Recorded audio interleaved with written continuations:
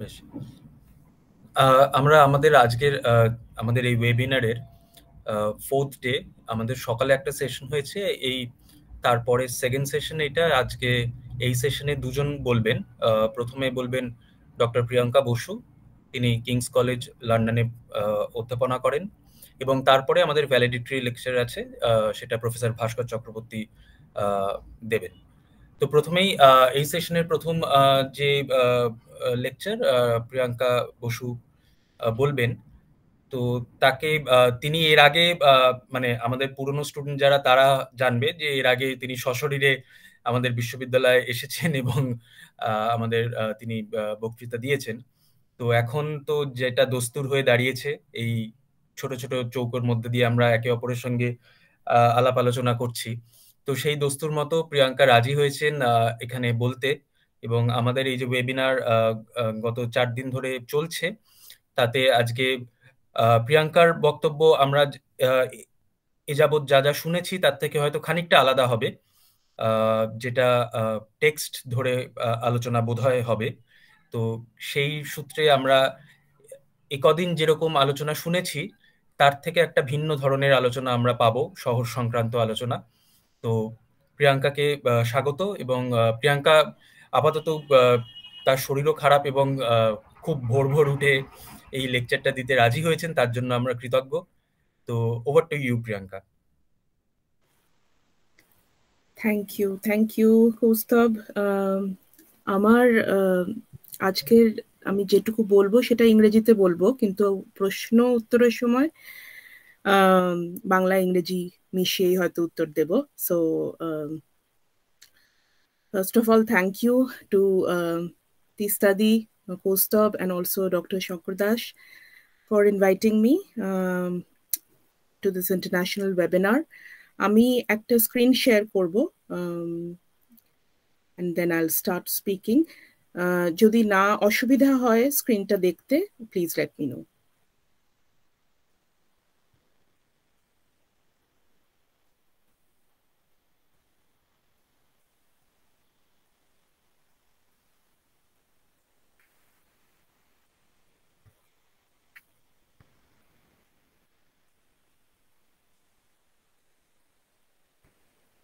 দেখা যাচ্ছে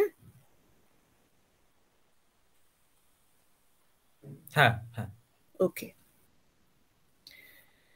um, so my uh, what i'm going to say today will largely involve uh, the text of hutum pachan noksha as you can already see here uh, there's the cover page of the bangla original and a few translations that have happened over the last decade so um, in 1863, uh, Bholanath Mukhopadhyay published Apnar Mukh Apni Dekho or Look to Your Own Face with the subtitle Amusing Sketches of Life and Manners. He also included an introduction that stated its indebtedness to Hutumpachan Noksha.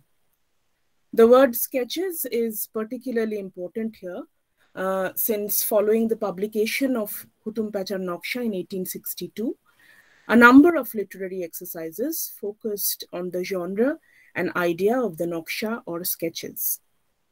Even late 19th and early 20th century Bengali publications like Thakurlal Dotto's Gajakhuri, Prothom Noksha in 1882, Girindra Chandra Bosu's Jibonto Noksha in 1894,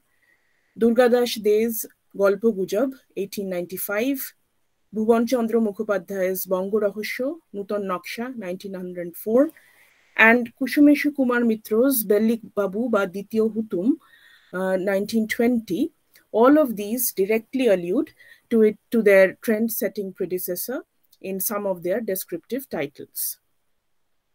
Now hutum pachar naksha as uh, most of us know was written by kaliprashanna shingho who was an editor of various vernacular newspapers, an enthusiast of the National Theatre, translator, critic, and philanthropist. Popularly known as a child prodigy of 19th century Calcutta, some of which is also captured in um, Shunil Gangopadhyay's novel Shei in part one.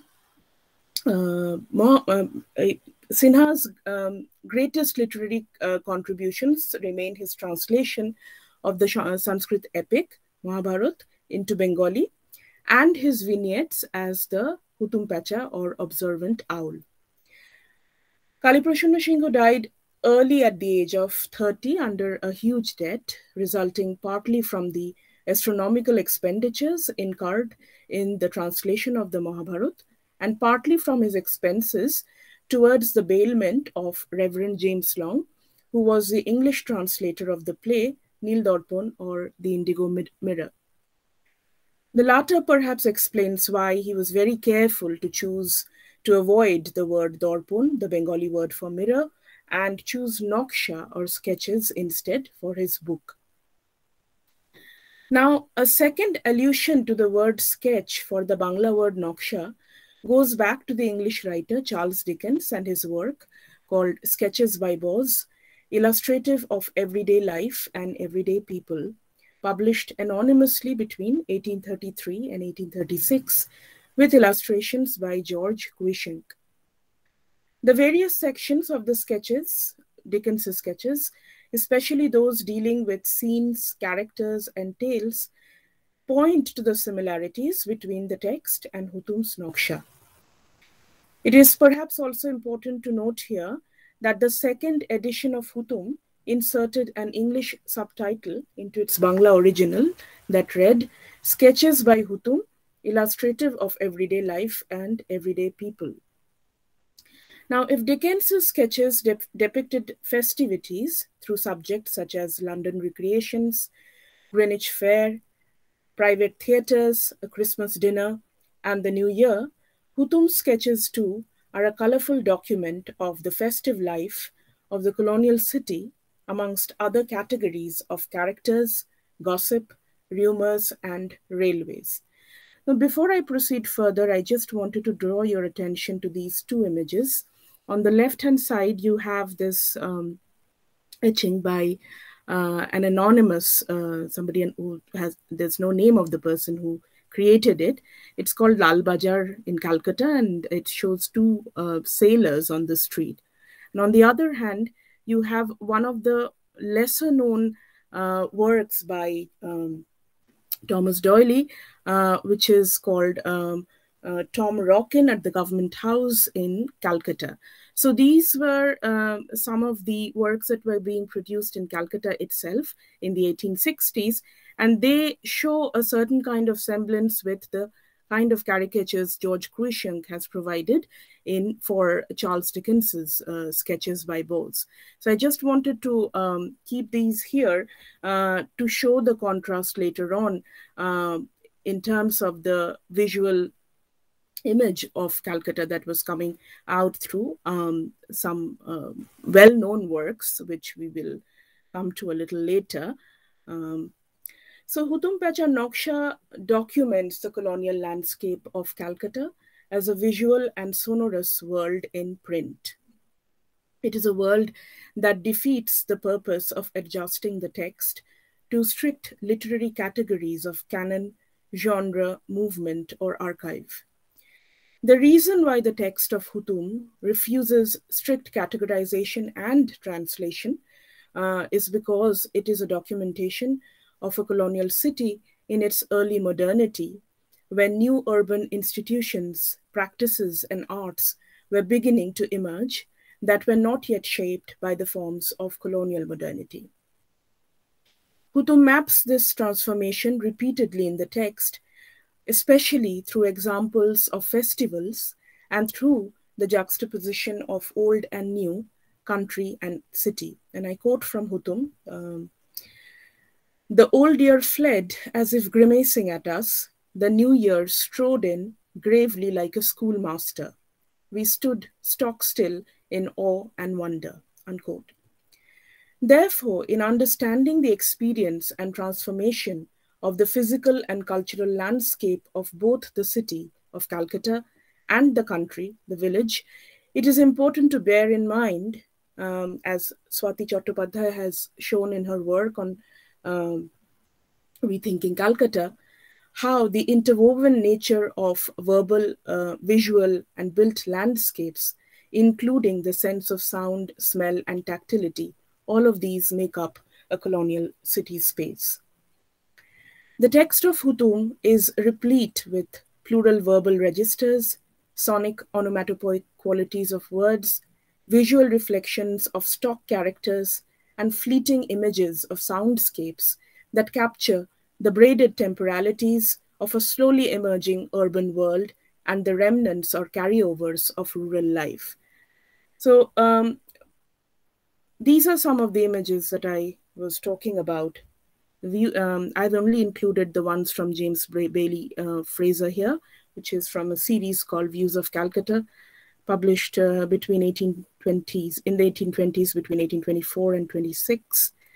And um, just to show you the contrast, the neatness of, you know, portraying the city, as opposed to what we had just seen in terms of the caricatural representations of people, their manners on um, in the city space. So these are a few images from James Fraser. So some of the ways then in which Hutum can be read are one, festivities in colonial Calcutta as they mark the coming together of urban, semi-urban and rural ways of lives. So Hutum talks, um, the text itself begins with the Chorok Pujo um, and there's a whole section devoted to uh, the festivities of Chorok, um, which I'm not going into today. Um, secondly, he also talks about the time of the night and um, the nocturnal images as lived experiences of the indigenous people. And this is what I'm going to focus on in today's work, uh, today's talk. And thirdly, um, the railways um, as ushering in an emergent world of mechanization and the accompanied shock, rumors, and caricatures that it produced. So I just wanted to show you a couple of uh, cover pages of, uh, you know, um, texts, pamphlets um, that were coming out during this time in the later half of the 19th century. Um, and these are all pamphlets on uh, the coming in of the railways. So you have Ki Mojar Koler Gari by Sri Munshi Ajimuddin and uh, Directions for a Railway Traveller, Bashpiyo Rotharohidiger Prati Upodesh by Okshay Kumar Dotto. Now, um, the disappearance, um, the disappearance and transience of Calcutta's urban life in Hutum's sketches, they are not a mere passage from morning to dusk or night to dawn, but part of a much larger historical transfer of power, ushering in an era of early modernity. Much like a quick change of scenography to appeal to the senses of the audience in a live performance, Hutum writes, and I quote, Readers, the Nawabi era melted away like the win winter sun. The might of the English shone brightly like the sun in a cloudless sky, unquote. Following what Jock Simmel dis distinguishes between the mental life of the metropolis and the small town, Hutum, in this fast changing scenography, captures a shift from the slower, more habitual, more smoothly flowing rhythm of the sensory mental phase of small town and rural existence. More importantly, Hutum underscores the passage into the money economy of urban life, dominated by punctuality, calculability, exactness, and order. To make the live sensory world of the city seem closer and more appealing to his readers or audiences, Hutum includes sections on rumors, gossip, and instances of swindling that characterize the urban space as a melting pot. It's only natural for a city full of lazy bones to bristle with gossip and rumor all the time. Consider, for example, the following rumor of the seven-limbed cow uh, that uses that he, Hutum uses as a metaphor for multiple pretenders who flocked to the colonial capital to try their luck. I quote, a seven-limbed cow rented a room in the city. The rate of tickets was fixed at two pesos per visitor. Many assembled and watched the freak with bovine amazement. Other bovinely minded ones were summoned by tinkling bells. The seven limbed cow left the city after making a fast buck. Unquote. Hutum's Calcutta is full of incongruities emerging from the clash between the indigenous Old World and modern colonial imports. On the one hand, one can find images of new means of transport, such as phaetons, self drive buggies, broughams, new items on the menu, such as fowl and new fashion styles like pantomime Sita's Firingi style bun or Albert fashion On the other, there are remnants of old festivals like Ramlila, Snanjatra, and Chorok, and amusements like horse dances, flying balloons, firecrackers. In this world of coexistence, Hutum charts performance genres like Kobigan, Pachali, Hafakrai, Kirtan, Jatra, Kothokata, Khemta, not simply in their sensory appeal or in their entirety, but as fleeting vignettes set against a cacophonous background. And I quote from Hutum Khemta naches were being rehearsed in some houses on either side of the road. Hearing the sound of ghungroos and cymbals, passers by stood transfixed on the road, savoring a whiff of heaven. A fight was going on somewhere. Unquote. Hutum's sensory world is repeatedly marked by reminders of clock time and official time. For example, in the sounding of guns, as against the oral visual existence of its inhabitants, or the cooing of quails on brothel balconies, the howling of dogs, the cawing of crows, or the voices of boys reading Borno together loudly. Unlike Western city panoramas, where the city, usually Paris, temporarily becomes a landscape while maintaining its supremacy over the provinces, Hutum's Calcutta refutes the panorama's plastically arranged foreground. Clearly, then, this colonial city negates an orderly depiction and becomes what can be understood as an archive of detritus. The nature of such an archive is qualified, as performance scholar Matthew Reason says, by partiality, fluidity, randomness, and memory. This is very much in the likeness of the remains of a city after festivities, as Hutum shows. I quote from him again Pavements on either side of the road were strewn with rotten lychees and mangoes. Flies buzzed around the remains of jackfruit in some places. There had been a light shower in the place a little while ago. Chitpur's main road looked like a plateful of squashed fruit steeped in milk.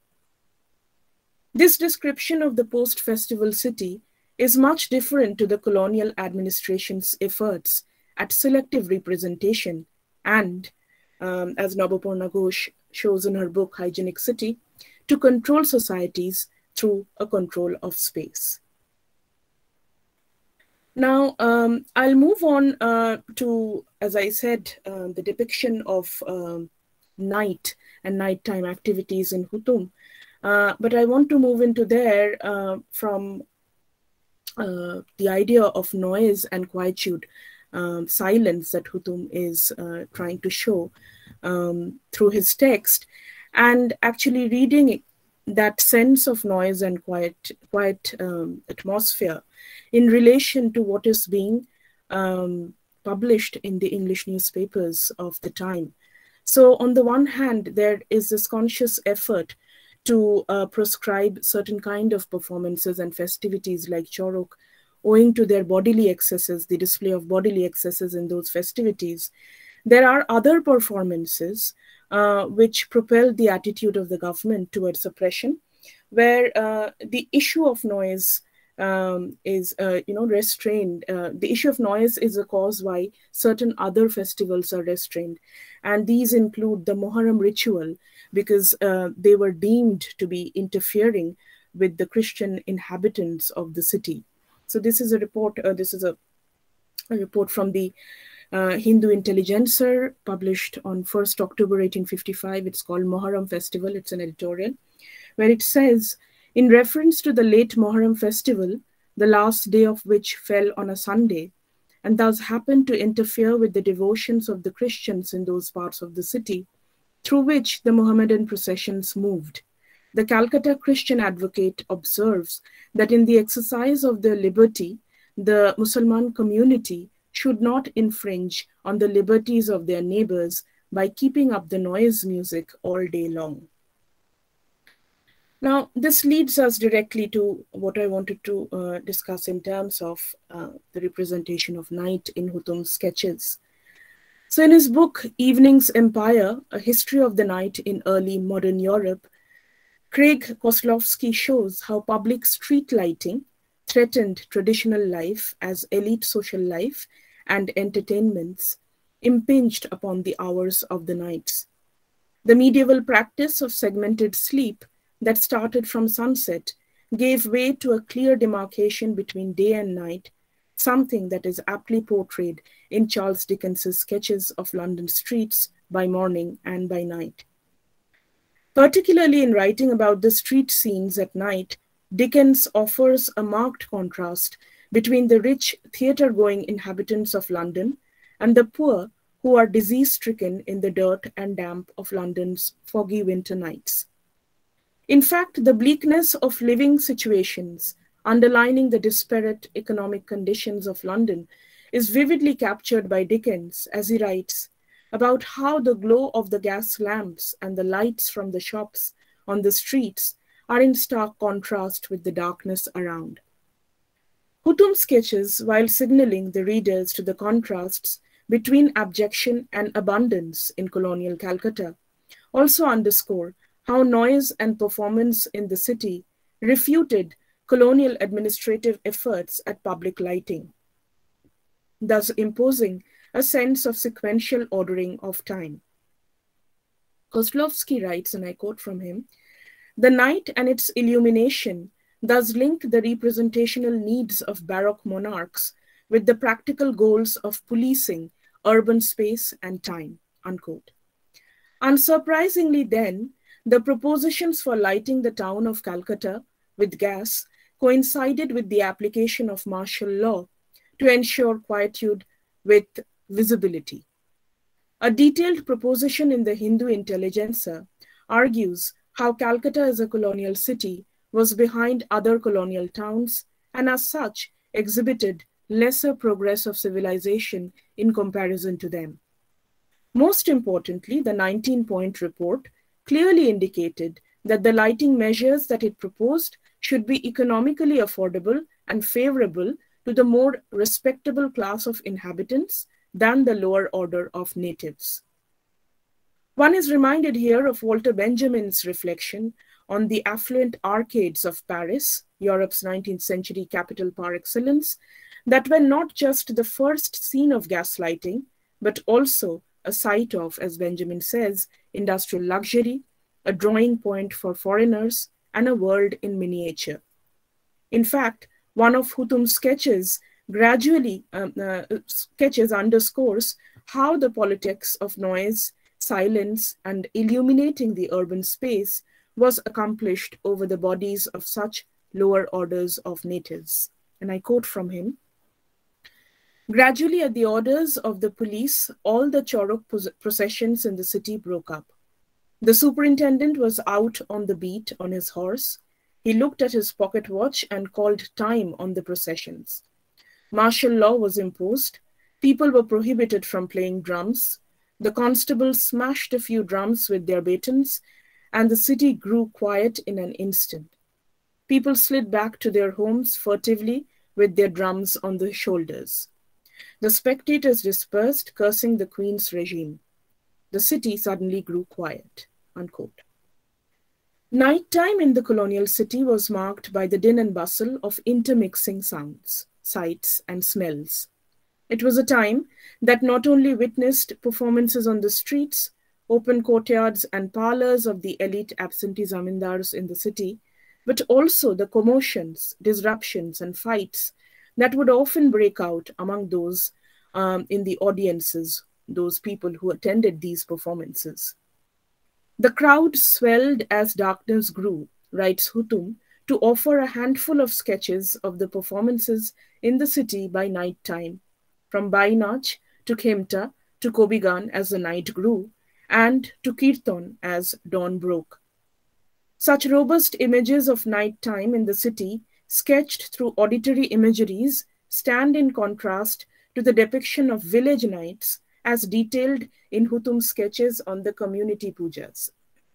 so I quote from Hutum again, where he's showing a scene um, of the village, nighttime in the village. Dusk fell. The cowherds headed for their homes with their cattle, playing their flutes. Pretty maids set out to fetch water from the river with earthen pots on their hips.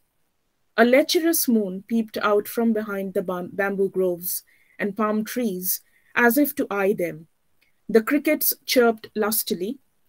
Chivets and otters wandered and ruined uh, around the ruined Shiva temple and the deserted houses. Bats set out in search of food. The jackals started howling, unquote. The representations of the country or the village as an idyll and a space without any conflict has been a long-standing trope, as Raymond Williams has expounded. In this sense, the city as a site of capitalist development and modernity juxtaposes the countryside as its dark mirror. The reputation of colonial Calcutta as a city of dreadful night stood based on the crimes of forgery, swindling, and falsehood that even found expression in rhyming couplets about the city. In fact, the enactment of the Indian Penal Code in 1860 not only invoked innovations in the acts of crime, but also introduced new rules against practices that would not have been deemed crimes earlier. This is evident in the way rituals, festivities, and loudness were controlled and silenced under martial law. Hutum's sketches of the village, however, show a more conflicting image of the countryside uh, manifest in the disparate epithets such as lecherous, lustily, deserted, or even the howling of the jackals.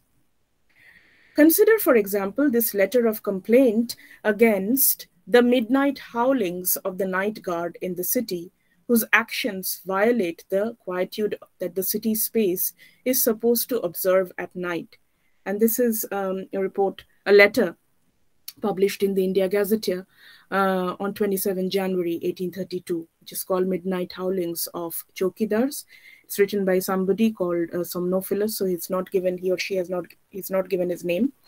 So the letter goes, Sir, I live, uh, sir, in Free School Street, and am nightly awakened by the midnight yells and howlings of a set of beings who are, I presume, appointed for the purpose of preserving peace and tranquility.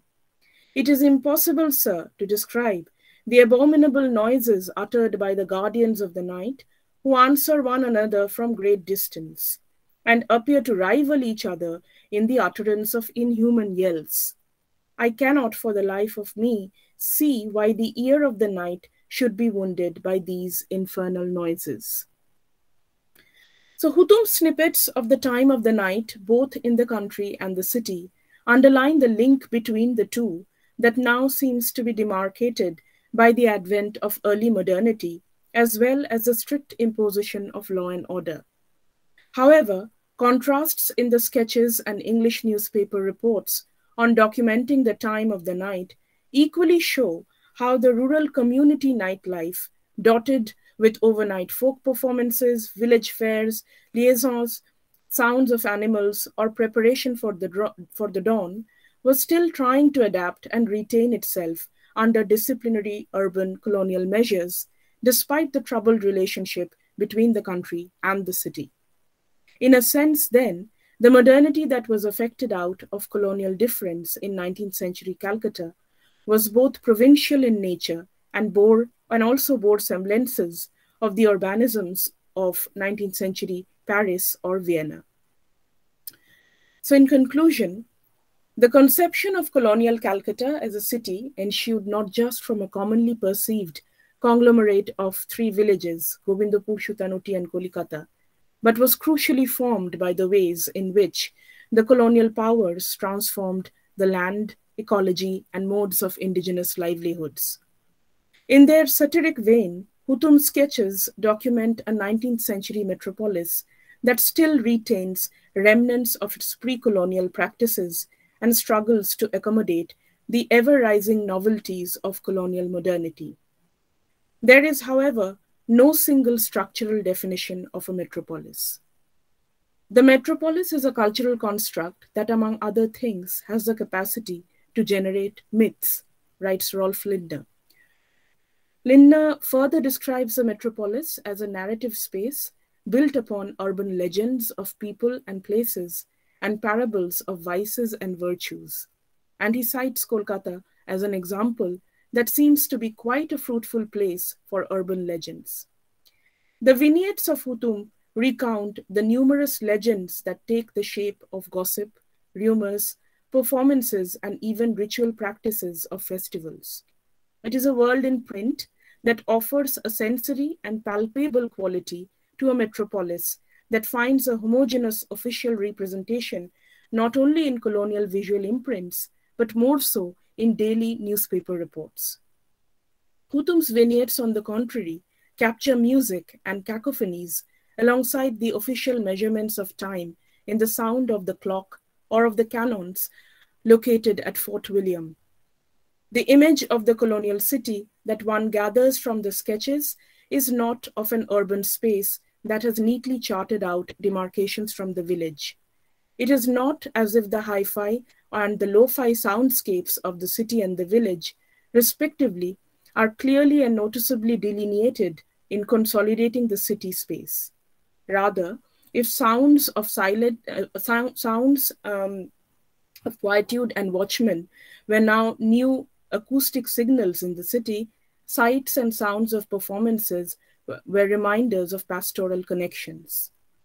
As Mark M. Smith has shown in the context of listening to early American industrialization, the country as quiet, industry as noisy di dichotomy is not as seamless as it appears. Instead, old existing sounds of rural landscape were built upon by the distant demands of urbanizing and industrializing America in the 1840s. Hutum's sketches offer possibilities for multiple reading strategies, especially as an ethnographic documentation of 19th century Calcutta as an emerging city space. Thank you.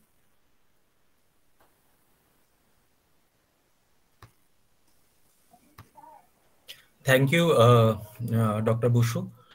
Uh, that was uh, that was wonderful, and uh, uh, I hope the listeners uh, could relate to what uh, she was uh, saying, and also the fact that we certainly got to know the at least for me it was an uh, it was a novel way of uh, uh, looking at hutum as a text as and also the fact that she brought out the relationship between the city and the village, the uh, city and the country, uh, which has been a running theme for this webinar for the past four days. So um, আমি সবাইকে বলছি যার কারোর যদি কোনো প্রশ্ন থাকে comment থাকে তাহলে একটু আনমিউট করে যদি তারা বলেন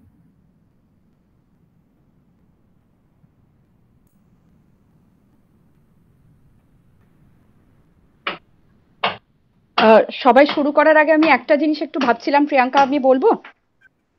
হ্যাঁ যেটা শোনা যাচ্ছে তো? হ্যাঁ যেটা বলছিলাম সেটা হচ্ছে মানে it was fascinating thank you so much আমি যেটা ভাবছিলাম সেটা হচ্ছে স্কেচেস শব্দটা যেখান থেকে তুই শুরু করলি আর কি, এই যে মানে স্কেচ বলতে সাধারণত we think of a moment frozen তাই তো? সেই যে আইডিয়াটা আর কি মানে স্নিপেটস এরকম বিভিন্ন যে দেখতে পাচ্ছি লাইক আ মুভিং ই অফ ইমেজেস আর কি, কিন্তু the images with stand still তো সেই জায়গাটা থেকে এই যে this early modernity that you're talking about যেখানে ওই একটা ওই braided what you're calling braid temporality রয়েছে সেই সেটা তো একটা ডাইনামিজম আছে মানে এই এই যে মডার্নিটি সেটাও তো বদলে বদলে যাচ্ছে দিস আরবান স্পেস সেটাও তো বদলাচ্ছে এই ডাইনামিজমটা কীভাবে ধরা হচ্ছে? মানে একটা তো আমার খুব স্পষ্ট যেটা মনে হলো এই চৌকিদারের যে আওয়াজ ইত্যাদি এই এই সাউন্ডস্কেপটা এরকম আর কীভাবে দেখার মানে কীভাবে হুতমের এই ফ্রোজেন ইমেজেসে এই ডাইনামিজমটা ধরা যাচ্ছে যদি একটু বলিস?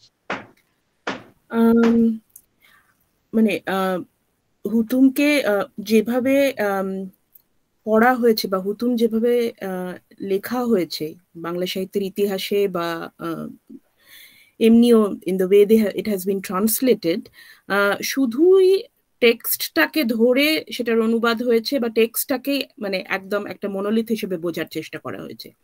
But what I am trying to do here is to read it against the numerous you know pamphlets and uh, cheap print publications that are coming out of you know Bottola and also uh, known etchings engravings এগুলোর অনেকটাই মানে available নয় ছিল না। আস্তে আস্তে এগুলো দেখতে পাওয়া যাচ্ছে বলে এই ইন্টারটেক্সুয়ালিটিটা দেখতে পাওয়া যাচ্ছে যে হুতুম মানে কোন কোন কলোনিয়াল সিটি কোন কলোনিয়াল ক্যালকাটার কথা বলতে চাইছেন নকশার মধ্যে দিয়ে।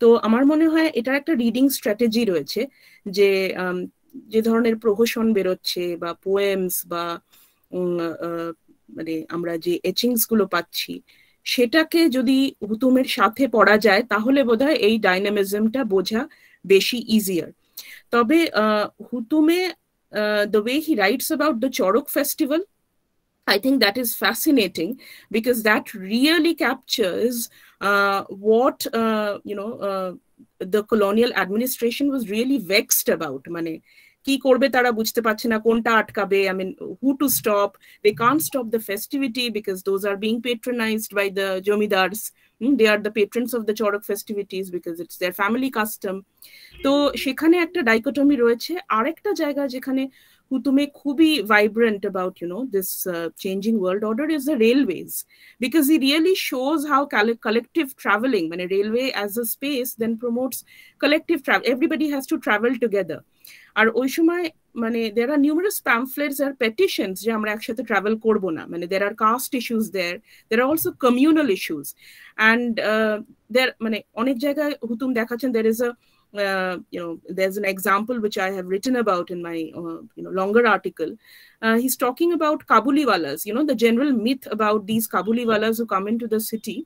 এবং they are they kidnap children and then apparently they take them to Kabul and they feed those children and make them fat and then eat them or whatever. তো এই ধরনের যে যেটা আমি বলছিলাম যে আরবান মিথ যেগুলো এই সিটি স্পেস যেটা প্রমোট করছে সেটা I think it's also getting more proliferate proliferated with um, the railways you know these uh, advanced technological advancement which that is why probably Hutum leaves railways to the last bit in the sketches মানে railway দিয়ে শেষ করছেন so there are different ways he captures it but for me I think festival performances and railways these three are the more dyna most dynamic of uh, what Hutum is trying to do in sketches thank you thank you Priyanka হ্যাঁ যদি আর কারোর কিছু প্রশ্ন থাকে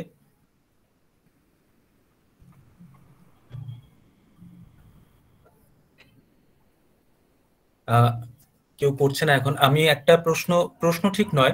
it's খানিকটা observation বা খানিকটা just curiosity যে হুতম অ্যাজ আ টেক্সট তাকে তুমি যেরকম বললে যে বিভিন্ন অন্যান্য টেক্সটগুলোর সঙ্গে একটা মিলিয়ে পড়া।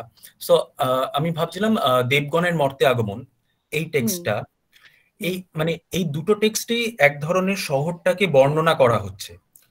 দেবগণেরটাতে মানে হুতমেরটাতে যেরকম একটা স্যাটারিক্যাল ভিশন রয়েছে দেবগণের মর্তে আগমনটা হয়তো আরেকটু কি বলব আরেকটু হয়তো পজিটিভ একটা ভিউ পয়েন্ট আমাদের দিচ্ছে যেখানে ব্রিটিশ গভর্নমেন্ট কি কি করেছে বা তাদের যে ম্যাগনিফিসেন্সটা শহরটার সেটা আর একটু পরের টেক্সট তাই শহরটাও আর একটু বেড়েছে। তো আমার জাস্ট এটা একটা কিউরিয়াসিটি যে এই যে হুতমের সময় থেকে late nineteen early twenty century এই যে পিরিয়ডটা এই পিরিয়ডটাই কি শিফট আসছে ধীরে ধীরে? মানে শহরের ডেপিকশনে মানে ভোলানাথের আপনার মুখ আপনি দেখো বা হুতমের এই যে লেখাগুলো এই লেখাগুলোর থেকে দেবগণের মর্তে আগমন বা একদম যেটা একেবারেই অন্যরকম লেখা কলকাতার ইতিহাস সংক্রান্ত যে লেখাগুলো আসছে বাংলায় কলিকাতার কথা বা এই রকম লেখা যেটা টোয়েন্টি সেঞ্চুরি আর্লি টোয়েন্টি সেঞ্চুরিতে আসছে তো এই পিরিয়ডটা জুড়েই ফিফটি অড ইয়ার্স এর মধ্যে কি একটা শিফট আমরা দেখতে পাচ্ছি? কিন্তু সেই শিফটটা অ্যাজ মানে তুমি যেহেতু এই টেক্সট নিয়ে কাজ করো আমার তাই জানার ইচ্ছে যে এই শিফট মানে তুমি কি এটা একটা কোনো শিফট দেখতে পাও? এক নম্বর। আর দু নম্বর যদি একটা শিফট এসে থাকে তাহলে সেটা এই স্যাটারিক্যাল মোডটা থেকে একটু সিরিয়াস মোডে যে শিফট হচ্ছে আমার যেটা পড়ে মনে হয়েছে এইটা কি কলকাতা অ্যাজ আ সিটি তার ইম্পর্টেন্সটাকে আন্ডারলাইন করে কোথাও? হ্যাঁ আমার হ্যাঁ কৌস্তব আমার আমি I would agree with you কারণ আমি নিজে তো পারফরমেন্স নিয়ে কাজ করেছি মূলত কবিগান নিয়ে এবং is a huge gap from the 70s onwards in the way uh, you know performance literature from 19th century calcutta is being published nei bollei chole so then you have to look at these pamphlets and you know small publications to see যে কি হচ্ছে আদৌ মানে where where at all they are existing in the city space তো হুতুম থেকে যে যে অন্য টেক্সটের কথা তুমি বললে ইনক্লুডিং দেবগণের মর্তে আগমন I think there is, uh, uh, you know, not just it's underlining the importance of uh, Calcutta as a colonial city space, but also probably offering a more sanitized um, you know picture of the city I mean, there is a certain effort to show it uh, to uh, you know uh, to to give an idea about what a city should look like hmm? so সেই জন্য আমার মনে হয় it is absent from the literature of that time it's more affirmative of what the colonial government has achieved rather than a critique তো সেই কারণেই হয়তো পরবর্তীকালে মানে রাধাপ্রসাদ গুপ্তর যে বই কলকাতার ফেরিওয়ালার ডাক রাস্তার আওয়াজ it really couldn't achieve the texture or you know the um, sensory appeal that uh, Hutum managed in through his sketches মানে ওই livelinessটা got somehow I would say sanitized out of the texts. I mean that's my understanding of uh, the publications. I don't know if I could answer your question. No, no, no. Uh, it's মানে এটা তো ঠিক মানে এটা এই ভাবনারই বিষয় মানে যেটা তুমি যেটা বলছো যে এই স্যানিটাইজড একটা ভার্সন আমরা পাচ্ছি সেইটা আমারও সেটাই মনে হয়েছে যে মিড নাইনটিন সেঞ্চুরির যে টেক্সটগুলো সেই টেক্সট গুলোতে যেরকম একটা খুব ট্রেনচেন্ট একটা ক্রিটিক আছে of the modern colonial metropolis যেটা তৈরি হচ্ছে তখনও ফুললি ফর্ম নয় সেটা আস্তে আস্তে এক ধরনের ভিশন এক ধরনের ভার্জন আমরা পাচ্ছি এই লেট নাইনটিন আর্লি টোয়েন্টি সেঞ্চুরিতে এসে যেখানে সেই ক্রিটিকটা কোথাও হারিয়ে যাচ্ছে। মানে কিছু হয়তো একটা দুটো টেক্সটে পাওয়া যাচ্ছে হয়তো কিন্তু জেনারেলি টোনটা তার there a mark shift in the tone of the of the literary tracts তো সেইটা মানে মানে লেট নাইনটিন সেঞ্চুরির আমি যে প্রহসনগুলো দেখেছি মানে যেগুলো বটতলা থেকেও বেরোচ্ছে most of them are uh, focused on women women's education and also you know the uh, problems of widow remarriage uh, you know it it doesn't really have the flavor of the earlier farces which were being published মানে 1830s থেকে 50s এর মধ্যে যে প্রহসনগুলো আমরা দেখতে পাচ্ছি বটতলা থেকে, সেই সেটা সেটার একটা ড্রাস্টিক শিফট হচ্ছে আমার মনে হয় when you look at the publications from 1880s to 1910s 1920s তো ওই জন্যই আমি বলছিলাম যে the I think possibly the reading strategy now that we have to devise is to read everything together and in between lines মানে আমরা টেক্সটকে just একটা সিঙ্গুলার আইডেন্টিটি হিসেবে পড়ে যাচ্ছি কিন্তু all this is happening at the same time in the same city space to understand it better i think the intertextuality to dorkar but there is again the question of access because a lot of these publications cheap prints are not there uh, they are slowly being digitized সবে তো আমি সবার জন্য বলতেও চাইছিলাম যে যদি কেউ অ্যাক্সেস করতে চায় এই ধরনের পুরনো প্যাম্ফলেটস চ্যাপ বুকস তাহলে ব্রিটিশ লাইব্রেরির two centuries of Indian print around দু হাজার টু থাউজেন্ড পাবলিকেশনস ওরা it's online so in case anybody is interested please look up এগুলো ফ্রিতে downloadable and will probably help in your work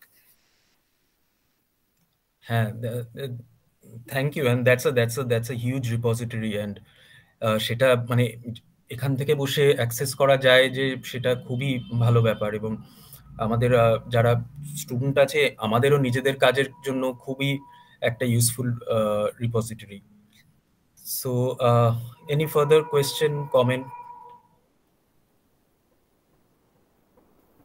two century sorry two century ছাড়াও British library যেটা endangered archives programme সেটাতে অনেক that is even you know more prolific মানে ওখানে Amrita Bazar Patrika digitise করা হয়েছে।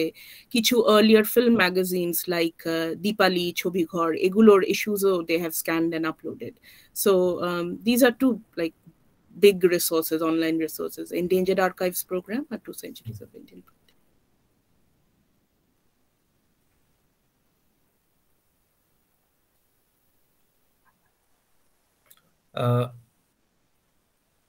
so we have almost uh, eight minutes now for before we start the valedictory session.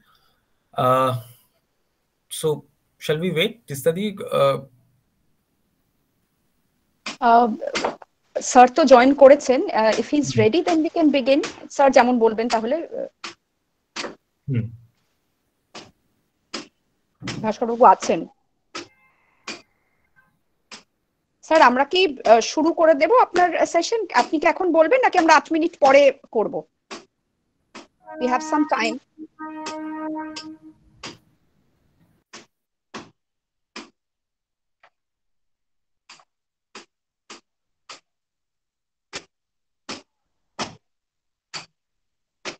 I think uh, let us wait and we will uh, start it. We'll stay logged in then. Huh? Thank you, Priyanka. Thank you so much. Ami Achi, I'll uh, for the valedictory. Okay. okay.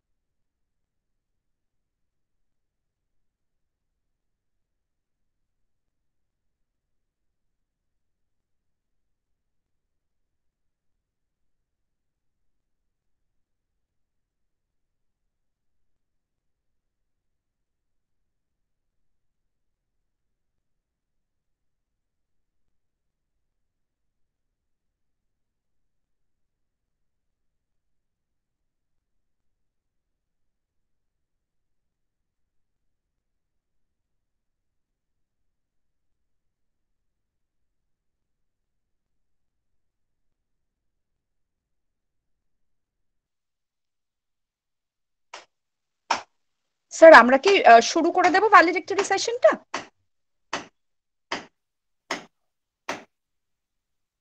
Mute রয়েছে আপনার।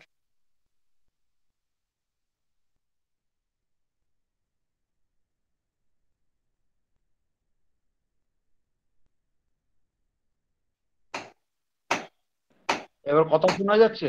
হ্যাঁ sir এবার শুনতে পাচ্ছি। কথা sir আমাদের পাঁচ minute হ্যাঁ হ্যাঁ হ্যাঁ। শোনা যাচ্ছে? হ্যাঁ স্যার শোনা যাচ্ছে।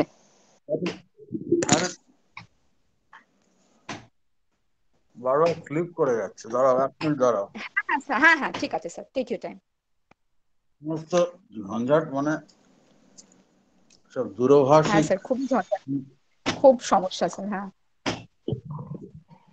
তোমাদের না আমার সমস্যা। বোধ হয় মোটামুটি একটা হ্যাঁ স্যার আপনাকে দেখতে পাচ্ছি। নমস্কার। এটা আবার গতি অবয়ব চলে আসছে। না স্যার সেটা আমি বন্ধ করলে না ঠিক আছে। কৌস্তুভ তাহলে স্যার তো রয়েছেন তাহলে উই কুড সেশন হ্যাঁ আমরা কি এই তিন মিনিট অপেক্ষা করে নেব না শুরু করে দিই? শুরু করে দিতে পারি। আমার কথা শোনা যাচ্ছে? হ্যাঁ হ্যাঁ শোনা যাচ্ছে। শোনা যাচ্ছে।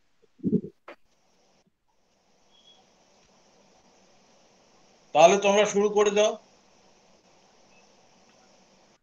আচ্ছা আহ, তো আমাদের আজকে তাহলে এই ভ্যালিডিক্টরি সেশন এবার শুরু করব। আমরা চার দিন ধরে এই ওয়েবিনার চলছে এবং আমরা অনেকগুলো লেকচার শুনেছি। আজকে আমাদের ভ্যালিডিক্টরি সেশনের বক্তা স্যার ভাস্কর চক্রবর্তী। স্যার স্যারের সম্পর্কে আলাদা করে বলার কিছু আমরা সকলেই পরিচিত। তার সম্পর্কে জানি আমরা এবং তিনি কলকাতা বিশ্ববিদ্যালয়ে অধ্যাপনা করেছেন।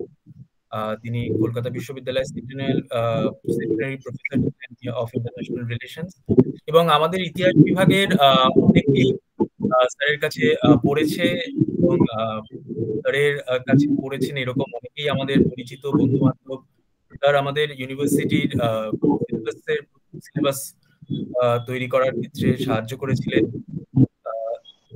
তাই আর বিশেষ কিছু কথা না বাড়িয়ে স্যারকে অনুরোধ স্যার আপনি আপনার বক্তব্য পেশ করেন। আমি জানি না যে এই যখন আমরা বৈদ্যুতিন মাধ্যমের মাধ্যমে আমরা সংযোগ প্রতিষ্ঠা করছি, তখন শ্রোতৃমণ্ডলী কারা রয়েছেন আমি ঠিক করতে পারছি না। তাই যা আছেন তাদের সকলকেই আমার নমস্কার জানাই। আমি তিস্তা কৌস্তব শঙ্কর এদের কাছে কৃতজ্ঞ যে তারা আমাকে এই ভাষণ দিতে আমন্ত্রণ জানিয়েছে। কিন্তু এটা সমাপ্তি ভাষণ না স্বস্তি বচন ভ্যালিডিক্টরি অ্যাড্রেসটা কি? সেটা সম্বন্ধে আমি এখনও খুব পরিষ্কার আমার বোধে আসেনি। তবে কথা ঠিক যে এই দু তিন দিন যেহেতু ঘরে বসে আছি, সেহেতু এই ওয়েবিনার এখন তো সেমিনার বলা চলবে না ওয়েবিনারের যারা বক্তা, তাদের কথাবার্তা, তাদের প্রতিবেদনগুলো শুনলাম এবং শুনে যথেষ্ট সমৃদ্ধ হয়েছে। বেশ কিছুদিন হলো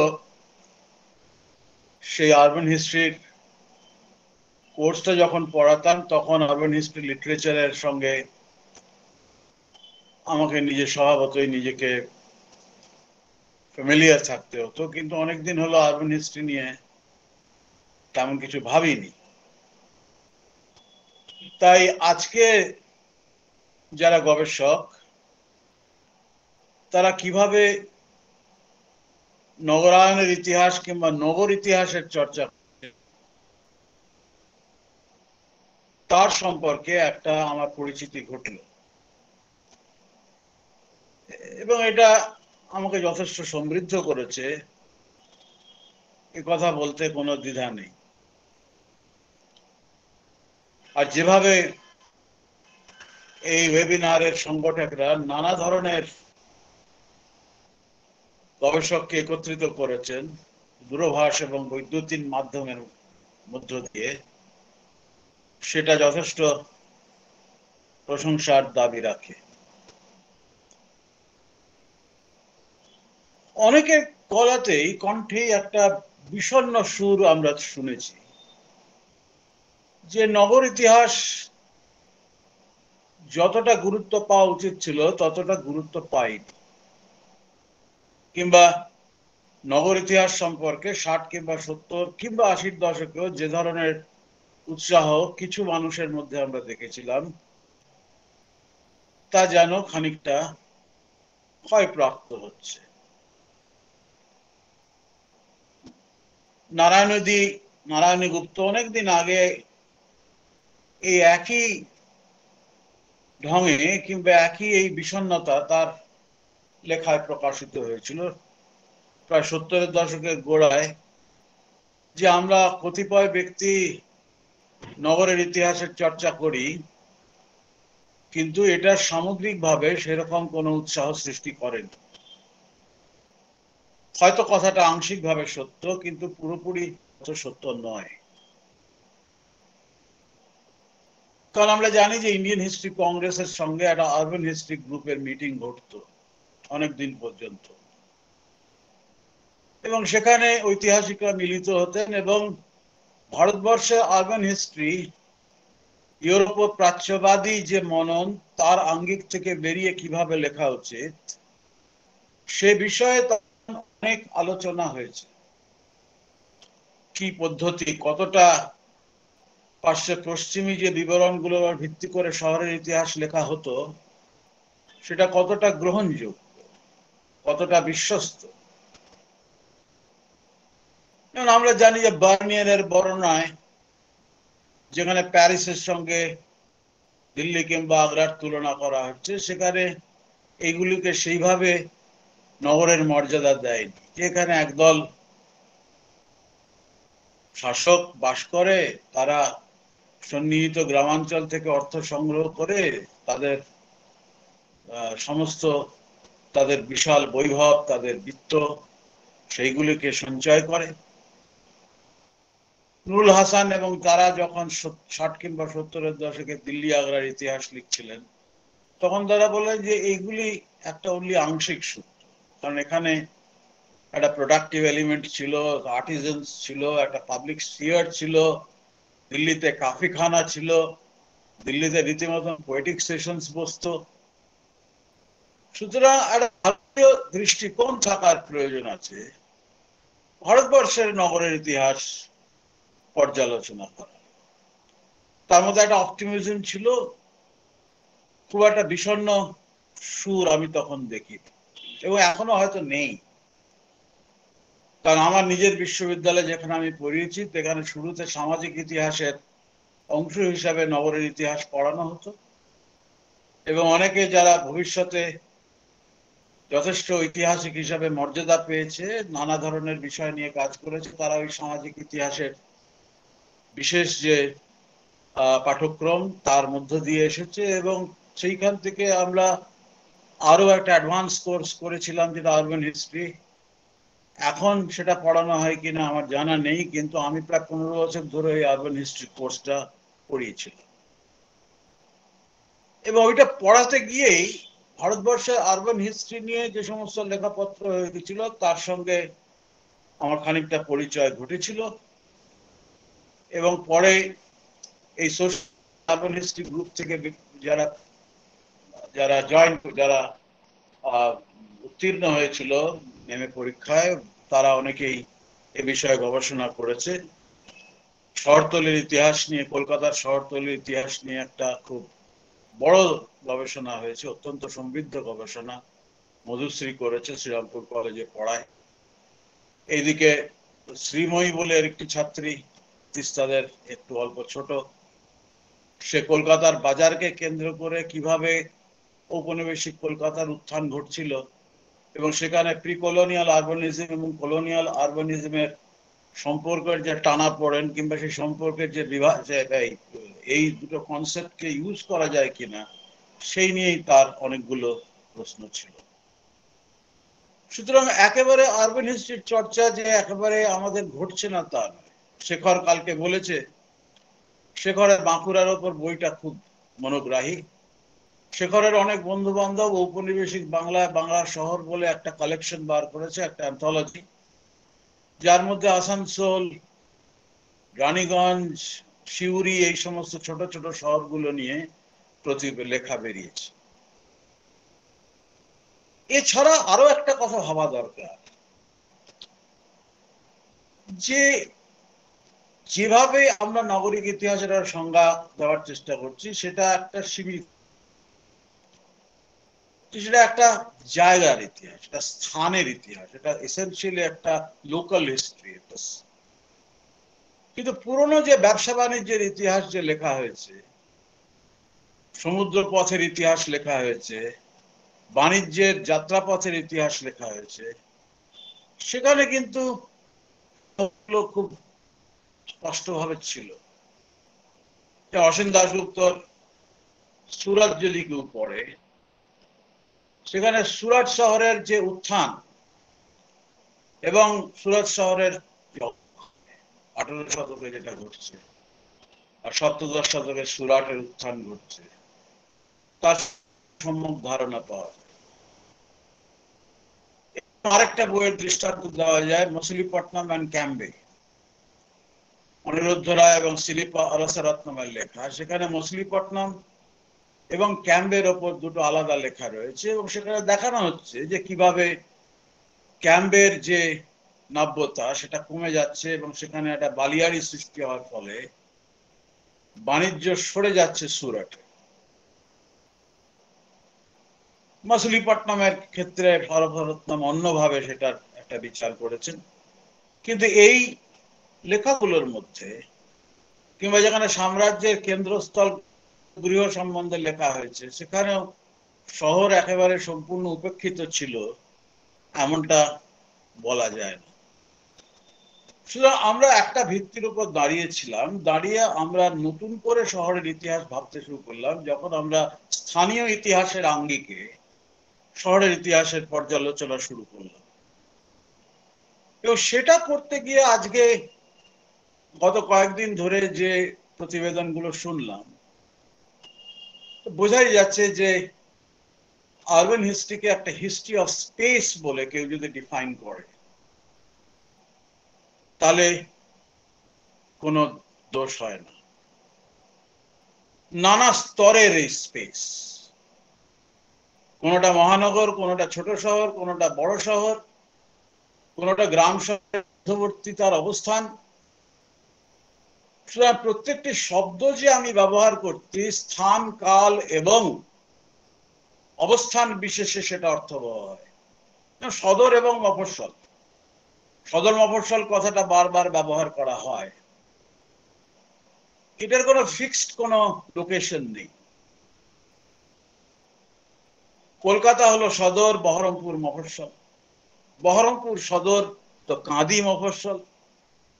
কাঁদি সদর তো কাঁদি মহকুমার অন্তর্ভুক্ত একটা গ্রাম হলো গিয়ে মফস্বল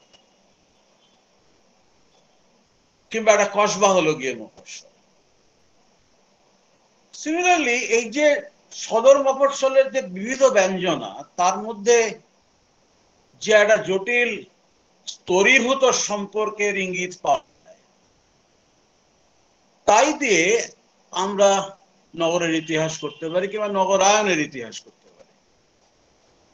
এবং সেটাও বাণিজ্যের ইতিহাসের মধ্যে যথেষ্ট জায়গা ছিল।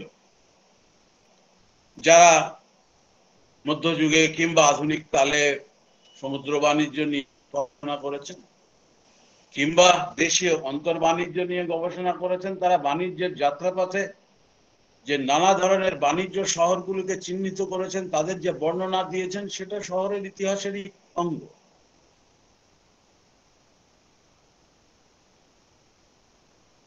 কথা আজ সকালে আমরা শুনেছি যে গ্রাম শহরের সহাবস্থান আমরা যেটাকে কসবা বলছি, সেই কসবার পাশেই হয়তো এই কসবার মতো কাছাকাছি কোনো একটা গ্রাম শহরের অবস্থান দেখি। আমরা কলকাতার দিকে যদি তাকাই, বালিগঞ্জ। গঞ্জ কথাটার মধ্যে একটা বণিক, একটা বাণিজ্যিক কেন্দ্রের ইঙ্গিত পাওয়া যাচ্ছে। কসবা একটা বাজার, কসবার পরেই তো মাঠের চাষের মাঠ। সুতরাং এই যে হাইরার্কিটা এই যে স্তরটা, বিভিন্ন স্তর, এগুলো একটা সম্পর্কের ইঙ্গিত করছে। এবং এই সম্পর্কের টানাপোড়েনটা কিন্তু একটা ডাইনামিক কনটেক্সটে দেখার দরকার আছে। কারণ এক জায়গায় কোনোটাই দাঁড়িয়ে নেই। ঐতিহাসিক কালের বিবর্তনের সাথে সাথে নগরগুলির এবং বিভিন্ন স্তরে যে অবস্থিত এই যে জনপদগুলির তার অবস্থান পাল্টেছে। সংস্কৃত ভাষায় কিংবা ফার্সি ভাষায় প্রত্যেকটাতেই আমরা নানা ধরনের শব্দ পাচ্ছি। শহর কসবা তখ্ত যেখানে রাজ রাজা থাকে সেটা তখ্তের শহর নগরম, পত্তনম, এই ধরনের বন্দর শহরের উল্লেখ পাচ্ছি। আমরা যদি বন্দর শহরের যারা গবেষণা করেছে, তাদের দিকে তাকাই, তারা বলছেন যে কোন বন্দর শহরই কোন একটা স্থায়ী শহর সুরাত কিংবা মছলিপট্টনমের যে বর্ণনা আমরা পাই, সেখানে দেখব যে যখন বাণিজ্যের সময় যখন অনেক মানুষ সমবেত হয়েছে, জিনিসপত্রের বেচাকেনা চলছে, তখন শহরটা হঠাৎ জেগে উঠছে। মোল্লা আব্দুল গাফুর সুরাটে থাকেন কারণ তার একটা জাহাজ তৈরির ব্যবসা রয়েছে। কিন্তু পারেখরা, যারা সুরাটের আরেকটা বড় বণিক গোষ্ঠী, তারা কিন্তু যখন বাণিজ্যের কাল অন্তর্হিত হয়, তারা কিন্তু সুরাট ছেড়ে দিয়ে অভ্যন্তরে তাদের বাসস্থানে চলে যায় যার জন্য অনেক সময় বন্দর শহরগুলিতে, মধ্যযুগের বন্দর শহরগুলিতে যতই সুরাতকে মোগলরা বান্দারের শাহ বান্দার বলুন না কেন সেখানে সেই পরিমাণে আমরা যেটাকে আর্কিটেকচার বলি, সেটা আমরা দেখি না। মছলিপট্টনমের ক্ষেত্রেও একই কথা। একটা খুব গুরুত্বপূর্ণ শহর, বন্দর শহর, কিন্তু সিজনাল টাউন এবং এমন ধরনের বক্তব্য সমস্ত নদী বাণিজ্যের ওপর যে ছোট ছোট বাণিজ্য কেন্দ্রগুলো ছিল, তাদের ক্ষেত্রে আমাদেরই এক ছাত্র ছিল অকালে সে চলে গেছে। ঋদ্ধিশঙ্কর রায় সে গোয়ালন্দর ওপর একটা লেখা লিখেছিল এবং তিনি দেখাল সে সমস্ত দলিল দিয়ে যে গোয়ালন্দ শহরটা এক জায়গায় ছিল না। নদী তীরে ছিল অবশ্যই, কিন্তু তার স্থান পরিবর্তন এই স্থানান্তর ঘটছে সুতরাং শহরের নানা বৈচিত্র্য এবং শহরের ঐতিহাসিক যারা, তারা এই বৈচিত্র্যটাকে ধরার চেষ্টা করেন। এবং যারা গত কয়েকদিন ধরে যারা বলেছেন, তাদের মধ্যে এই চেতনা খুব স্পষ্ট বিচিত্র ধরনের শহরের বিচিত্র ইতিহাস রয়েছে। সুতরাং একটা ধাঁচায় ফেলা শহরের ইতিহাসকে নিয়ে হয়তো সম্ভব নয়, যেটা খানিকটা স্থানীয় ইতিহাসের ক্ষেত্রেও প্রযোজ্য। এটা স্থানিক গুরুত্ব আছে এটা স্থানিক অবয়ব আছে। যে বৈচিত্র্যর কথা আমরা বলছি, যে বিভিন্ন স্তরের শহরের কথা বলছি, তাদের পারস্পরিক সম্পর্কের যে টানা পড়েন, কিংবা তাদের যে উত্থান, পতন, অবলুপ্তি কি পুনর্জাগরণ, এর যে ইতিহাস, তার সঙ্গে নিশ্চয়ই একটা বৃহত্তর স্তরে যে রাষ্ট্রীয় পরিবর্তন ঘটছে, প্রাকৃতিক দুর্যোগ ঘটছে বাণিজ্যের প্রসার বা সংকোচন ঘটছে, সেগুলোর যোগ রয়েছে। পিটার মার্শাল কিংবা অসীম দাশগুপ্তর লেখা আমরা একসঙ্গে পড়লে দেখব যে কেন সুরাটের অবক্ষয় হচ্ছে আর হঠাৎ কেন কলকাতা, দক্ষিণ, পূর্ব এশিয়ার বাণিজ্যকে আশ্রয় করে বড় হয়ে উঠছে। আঠেরো শতকের প্রায় প্রথমেই কলকাতায় একটা বড় ধরনের জাহাজ তৈরির প্রকল্প নেওয়া হচ্ছে। ইংলিশ ফ্লিট বাড়ছে। একটা বড় স্কেলের ইন্টারন্যাশনাল ট্রেডের যে চেঞ্জ ঘটছে, তার কনটেক্সটে অনেক সময় শহরের উত্থান পতন ঘটছে এবং তার সঙ্গে যোগ হচ্ছে রাষ্ট্রীয় পরিবর্তন। নতুন রাজা নতুন শহর করলেন, পুরনো রাজার শহরটা মরে গেল। কিন্তু আজকের দিনে হয়তো সেটা হবে না, ধুকতে ধুকতে শহরগুলোকে বাঁচিয়ে রাখা হবে। কিন্তু এক সময় কত শহর অবলুপ্ত হয়ে গেছে। জৌনপুরের সুলতানদের জৌনপুর খুঁজে পাই যেখানে পদ্মাবত লেখা হয়েছিল। অবলুপ্তি ঘটে গেছে। বহু সমুদ্র তটবর্তী যে বন্দর শহর, তাদেরও অবলুপ্তি ঘটে গেছে। তাদের আমরা পাই না মেরিন আর্কিওলজিস্টরা খুঁজে বেড়াচ্ছেন। কোনখানে এই শহরগুলো রয়েছে। এই বৈচিত্র্য এই বিভিন্ন স্তরের, বিভিন্ন ধরনের ইতিহাস, বিভিন্ন ধরনের শহরের, বিভিন্ন ধরনের ইতিহাস, এইটা যে তাহলে শহর এবং গ্রামের বৈপরীত্য কিংবা বৈসাদৃশ্য নিয়ে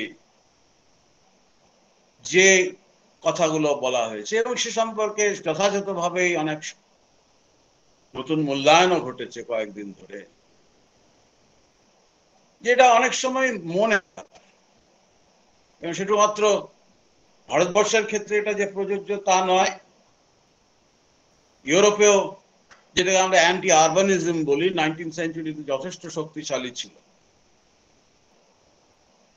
যত শহরগুলো বাড়ছে, যেখানে শিল্পের উত্থান ঘটছে, শ্রমিক শ্রেণি একত্রিত হচ্ছে, ইউরোপের অপেক্ষাকৃত রক্ষণশীল মানুষেরা বলছে ক্যান্সার অফ প্রোলেটারিয়েট শহরে এই শ্রমিক শ্রেণির ক্যান্সার ছড়িয়ে পড়ছে, এখান থেকে দূরে যেতে হবে। এবং টাউন প্ল্যানিং এর ক্ষেত্রেও দেখা যাচ্ছে। সেটা কেউ প্ল্যান করেছিল না, নিজের মতন হয়েছিল, সেটা সম্বন্ধে আমি জানি না।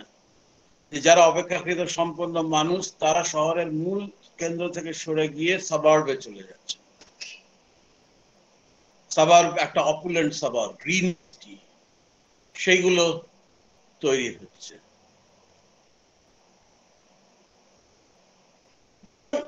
ভারতবর্ষেও যে এই ধরনের বিপরীতমুখী চিন্তা থাকবে তাতে আশ্চর্য হওয়ার কিছু নেই। কলকাতা কমলালয় ভবানীচরণ সেখানে একজন ব্যক্তি কলকাতায় এসে কলকাতাকে দেখে দ্বন্দ্ব পড়ে গেল, হতভম্ব হয়ে গেছে। কলকাতা সম্বন্ধে অনেক বিরূপ মন্তব্য, শহর সম্পর্কে বিরূপ মন্তব্য, গ্রাম সম্পর্কে উৎসাহ, গ্রাম সম্বন্ধে গ্রাম যেন একটা নিস্তরঙ্গ হলেও সেই গ্রাম একটা আইডিয়াল সোসাইটি এমনটা তো ইংল্যান্ডের সাহিত্য আমরা পাই, ইউরোপীয় সাহিত্যেও আমরা পাই, এখানেও পাই। আচার্য প্রফুল্লচন্দ্র রায়ের মতন একজন ব্যক্তিত্ব যিনি প্রায় সারা জীবন শহরে পড়িয়েছেন, এখানে গবেষণা করেছেন, তিনিও অনেক লেখায় বলছেন যে কলকাতায় এসে ছাত্রদের সর্বনাশ হয়েছে।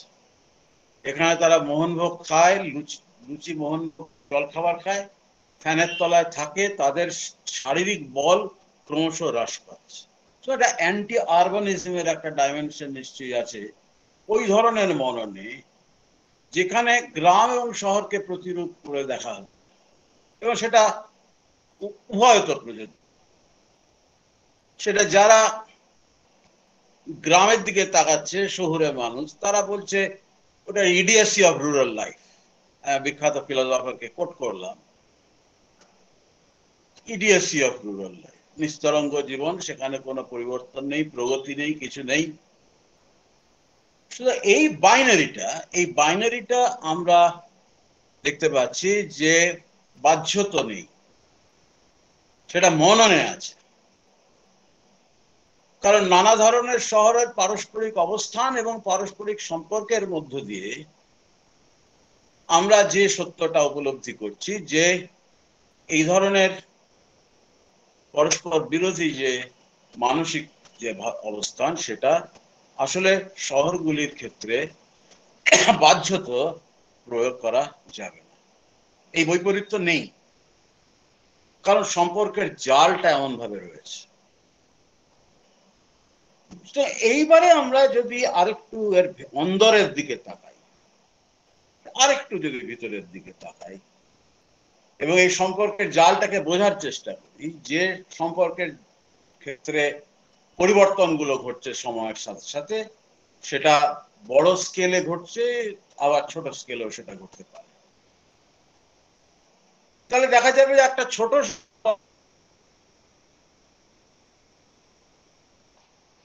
যেটা শহরের একটা বড় শহরের ছিল, সেটা মহানগরের মর্যাদা পেয়ে যাচ্ছে, শহরতলি যেটা শহর ছিল সেটা শহরতলি হয়ে যাচ্ছে। এ দৃষ্টান্ত প্রচুর।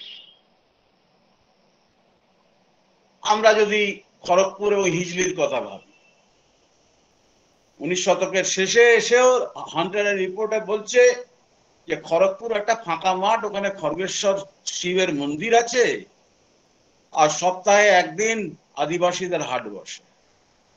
স্ট্যাটিস্টিক্যাল অ্যাকাউন্ট বলছে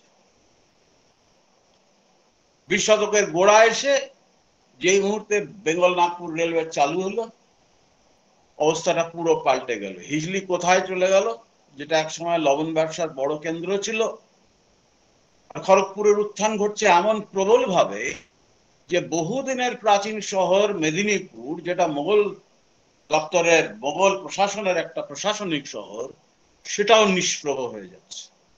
এই ধরনের উত্থান পতন যে বড় স্কেলে ঘটছিল তা নয়, স্থানীয় স্তরেও ঘটছিল। যে একটা ছোট শহর এবং বড় শহরের সম্পর্কটা এক জায়গায় দাঁড়িয়ে নেই, সেখানে নিয়ত পরিবর্তন ঘটে চলেছে। এবং কেউ যদি ঢাকা মুর্শিদাবাদ কলকাতা এই ট্রায়াঙ্গেলটার কথা ভাবে ঢাকা সম্বন্ধে আমরা অনেক কথা শুনেছি এবং ওরা আমাদের থেকে যারা ঢাকা নিয়ে চর্চা করেছেন, তারা অনেক বেশি জানেন। কিন্তু ঢাকা গড়ে ওঠার আগে অনেকদিন ধরেই এখানে আরেকটি খুব গুরুত্বপূর্ণ জনপদ ছিল, যেখান থেকে সমুদ্র বাণিজ্য সমুদ্র বাণিজ্যের ক্ষেত্রে গুরুত্ব পেয়েছিল। সুবর্ণগ্রাম সোনারগাঁও টাকশালও ছিল। সেই সুবর্ণগ্রাম ক্রমশ হারিয়ে গেল। মোল ঢাকা, একটা সাম্রাজ্যের প্রধান পীঠস্থান হিসেবে গড়ে উঠছে এবং পরে মোগল ঢাকার উত্তর অঞ্চলে দেখা যাচ্ছে ইউরোপীয় সেটেলমেন্টগুলো গড়ে হচ্ছে এবং সেখানে আর্টিজান উইভাররা সুবর্ণগ্রাম ছেড়ে চলে আসছে। এই ধর রিপোর্ট আমরা পাই, আঠারো শতকের রিপোর্টে ঢাকার গুরুত্ব কমছে একটা সময় এসে যখন মুর্শিদাবাদের উত্থান ঘটছে। কেন ঘটেছে সেই প্রশ্নে গিয়ে কাজ নেই, কিন্তু মুর্শিদাবাদ যখন বাংলার রাজধানী হিসেবে গড়ে উঠল, তখন ঢাকা খানিকটা নিশ্চয়ই নিষ্প্রভ হয়েছিল। কিন্তু মুর্শিদাবাদ চিরস্থায়ী হয়নি। বড় স্কেলে মুর্শিদাবাদ থেকে কলকাতায় স্থানান্তর হলো প্রশাসনের বড় কেন্দ্র রাজশক্তির বড় কেন্দ্র আর স্থানীয় স্তরে, যেটা মুর্শিদাবাদের একটা উপকণ্ঠ ছিল, যেখানে কিছু ইউরোপীয় বণিকেরা বাস করতেন বারমপুর যেখানে কিছু গোড়া সৈন্যরা ছিল, সেইটা পেল গুরুত্ব উনিশ শতকে, যে মুহূর্তে বহরমপুর জেলা শহর হিসেবে স্বীকৃতি পেল। তার ফলে আমরা দেখতে পাচ্ছি, বহরমপুরকে কেন্দ্র করেই মানুষের অনেক ভাবনা, চিন্তা। এখানে স্কুল তৈরি হয়েছে কলেজ তৈরি হয়েছে, কংগ্রেসের অফিস এখানে এখানে কোর্ট আছে। বাংলা বিহার, উড়িষ্যার অবিভক্ত অবিভক্ত বাংলার সুবার্যের রাজধানী মুর্শিদাবাদ, নবাবের মুর্শিদাবাদ। সেই তুলনায় নবাবের মুর্শিদাবাদ নিষ্প্রভ। কতগুলো প্রাসাদ দাঁড়িয়ে রয়েছে, কিন্তু মুর্শিদাবাদ গুরুত্বহীন। সুতরাং এই যে স্তরটা, এই স্তরটা একটা জায়গায় দাঁড়িয়ে নেই, এর ওঠানামা চলতেই থাকছে এবং এটা আরবান হিস্ট্রির একটা মস্ত বড় উপজীব কারণ আমরা শুধুমাত্র নগরায়নের ইতিহাস করছি না, আমরা নগরের ইতিহাস করছি এবং নগরের ইতিহাস একটা ইনএক্সরেবল প্রসেস অফ আরবানাইজেশনের কথা ভাবে না। Rise all decline and renewal এই টার্মস হবে। উনিশশো পঞ্চাশ ষাটের দশকে ইংল্যান্ডে যখন আরবান হিস্ট্রির চর্চার বিস্তার ঘটছে লোকাল হিস্ট্রির চৌহদ্দির মধ্যে এইচপিআর ফিনবার লিস্টার স্কুল তাতে নেতৃত্ব দিচ্ছেন। এল রাউজের টিউডার কর্নওয়াল যখন লেখা হচ্ছে, তখন এই ভাবনাটা আমাদের কাছে পরিষ্কার হয়ে গেছে। রাউজ বলেছেন যে টিউডার যুগে কর্নওয়াল যে খ্যাতি এবং যে শিখরে আরোহণ করেছিল কর্নওয়ালের সে অবস্থা আর নেই। তার মধ্যে একটা সেন্টিমেন্ট কাজ করছে লোকাল সেন্টিমেন্ট কাজ করছে। তিনি ওখানকারই বাসিন্দা ছিলেন। কিন্তু এমনটা সব জায়গাতেই ঘটছে। সব জায়গাতে ঘটছে বলেই এইটা একটা সিদ্ধান্তের অঙ্গ হতে পারে যে নাগরিক ইতিহাস যারা করবেন, তারা এইভাবে দেখবেন। নানা স্তরের নগরকে বিচার করবেন সেই বৈচিত্র্যের অনুসন্ধান করতে গিয়ে স্তরগুলো যখন বিশ্লেষণ করছেন, তখন তাদের ভেতরের যে জটিল বিন্যাস, যে নাগরিক বিন্যাসের, নগর বিন্যাসের যে জটিলতা, সেইটাকে ভাববেন।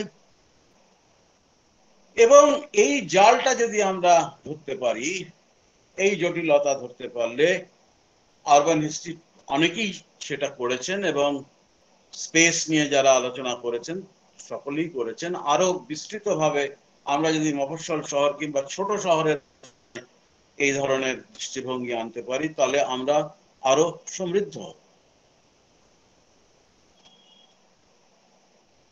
এরপরে একটা কথায় আসা যাক, যেটাকে বলা হচ্ছে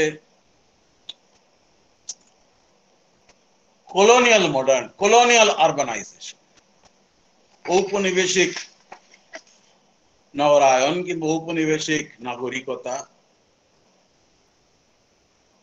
ভারতবর্ষের নাগরিক ইতিহাসে কিংবা নাগরিক বিন্যাসে ঔপনিবেশিক শাসকের যে ইন্টারভেনশন যে হস্তক্ষেপ। পার্থর, কথা আমরা কালকে শুনেছি, পার্থর যে অত্যন্ত সমৃদ্ধ বই, অত্যন্ত গুরুত্বপূর্ণ বই প্ল্যানিং দ্য সিটি সেখানে ওই ইন্টারভেনশনের কথা বলা আছে। যে কলকাতায় কি করে খানিকটা অবস্থার চাপে পড়েই কলকাতার উন্নতির কথা ইংরেজদের ভাবতে হয়েছিল। প্ল্যানিং মানুষ অনেক কিছু ভেবে করে কিনা সেই নিয়ে যথেষ্ট সংশয় আছে। ভাবলে হয়তো ভালো হতো। যে ডাক্তারবাবু দু তিন দিন আগে বললেন যে, আহা আমরা ইতিহাস থেকে যদি শিক্ষা নিয়ে নতুন করে আমাদের শহরগুলোকে নিয়ে ভাবনা চিন্তা করতে পারতাম, তাহলে আমরা আরেকটু ভালো থাকতাম। তেমনটা আসলে আদতে ঘটে না। চাপে পড়ে মানুষ নানা ধরনের পরিকল্পনা করে। ইংরেজরাও তাই করেছিল। সেটা কলকাতা হোক কিংবা বম্বে হোক, যেখানেই হোক, রোগ জ্বালার উপদ্রব, আবর্জনা, এই সমস্ত প্রকোপ থেকে গুলোকে বাঁচাবার জন্যই এই ধরনের যে ইম্প্রুভমেন্টের স্কিম উন্নয়নের যে প্রকল্পগুলি নেওয়া হয়েছিল কিন্তু এখানেই তো বক্তব্যটা শেষ হয়। যে আমরা যেটাকে বলছি, যেটা অনেকে বলছেন সোশ্যাল কন্ট্রোল মডেল যে মডেলটা যে শুধুমাত্র উপনিবেশিক যুগ কিংবা উপনিবেশিক শাসনের ক্ষেত্রে প্রযোজ্য তা নয় এটা অন্যত্র ঘটতে পারে। হাউসম্যানের কথা কালকে পার্থ বলেছে, হাউসম্যানের শুরু হয়েছিল, হাউসম্যান মডেল প্রথম প্যারিসে এমপ্লয় করা হয়। কেন হয় সেটাও পার্থ বলেছে। এটা শুধুমাত্র একটা উপনিবেশিক শাসনের সঙ্গে জড়িয়ে আছে, তা তো নয় সোশ্যাল কন্ট্রোল যে কোনো রাষ্ট্র তার সোশ্যাল কন্ট্রোল এমপ্লয় করতে চায়। এবং যদি সেটা আনরুলি আরবান মব থাকে, যেখানে একটা আনরুলি থাকে, সেখানে তাকে নানা রকম প্রক্রিয়ার মধ্য দিয়ে সেখানে তার স্থায়িত্ব স্থিতি যাতে বজায় রাখে, তার প্রকল্প নিতে হয়, তার ব্যবস্থা নিতে হয়। এবং সেটাই ঘটেছে। বম্বের ক্ষেত্রেও ঘটেছে, মরিয়াম দোসাল টোসালের লেখায় দেখা যাচ্ছে, উনিশ শতকের মধ্যবর্তী সময়ে বম্বেতে একটা মিউনিসিপাল ক্রাইসিস হচ্ছে। এবং প্রশান্ত কিদাম্বির লেখাতে দেখা যাচ্ছে যে কীভাবে সেই মিউনিসিপাল ক্রাইসিস থেকে বেরিয়ে আসার জন্য যে পদ্ধতিগুলো অবলম্বন করা হলো, সেটা সাধারণ মানুষের জীবনকে আরও বেশি নিয়ন্ত্রণ করার দিকে এগিয়েছে সরকার, ঔপনিবেশিক সরকার। পুলিশ সিস্টেম রিফর্মুলেটেড রিফর্বিস্ট হচ্ছে মিউনিসিপ্যালিটি তৈরি হচ্ছে বম্বে ইমপ্রুভমেন্ট ট্রাস্ট তৈরি হচ্ছে কিছু মানুষকে সরিয়ে দেওয়া হচ্ছে। এই যে বাস্তুচ্যুতি ঘটছে, সে বাস্তুচ্যুতি এবং উন্নয়ন পাশাপাশি ঘটছে। তেমনটা কলকাতাতেও ঘটেছে। আমরা পার্থর লেখায় দেখেছি। অত বেশি ঘটতে পারেনি। এখানে নানা ধরনের যারা বস্তির মালিক, যারা বস্তিবাসী, তাদের নানা ধরনের ইন্টারেস্ট ছিল। ফলে যে কম্প্রিহেন্সিভ স্লাম ক্লিয়ারিং সেইটা এখানে কখনোই সম্ভব হয় কিন্তু চেষ্টা তো হয়েছে। নগরকে নতুন করে আঁকার যে চেষ্টা, নতুন রূপ দেওয়ার যে চেষ্টা, সেই চেষ্টাটার সঙ্গে সোশ্যাল কন্ট্রোল জড়িত আছে। যেহেতু অত্যন্ত যদি এপিডেমিক হয় কিংবা যদি খুব রাষ্ট্রবিপ্লব ঘটে, সেখানে বড় রাস্তা প্রয়োজন। এপিডেমিক হলে এমন একটা শহর তৈরি করা প্রয়োজন যেখানে মানুষ সুস্থিরে বাস করতে পারবে। সুতরাং অতিরিক্ত পপুলেশনকে যদি আমরা বাইরে নিয়ে যেতে পারি, তাহলে ভালো। শহরকে আরও সমৃদ্ধ করার জন্য ট্রান্সপোর্ট স্কিম লাগবে ইলেকট্রিফিকেশন লাগবে, বিভিন্ন আসপেক্টস অফ ইমপ্রুভমেন্ট স্কিম যেগুলো নিয়ে গবেষকরা আলাদা আলাদা ভাবে গবেষণা করতে পারেন।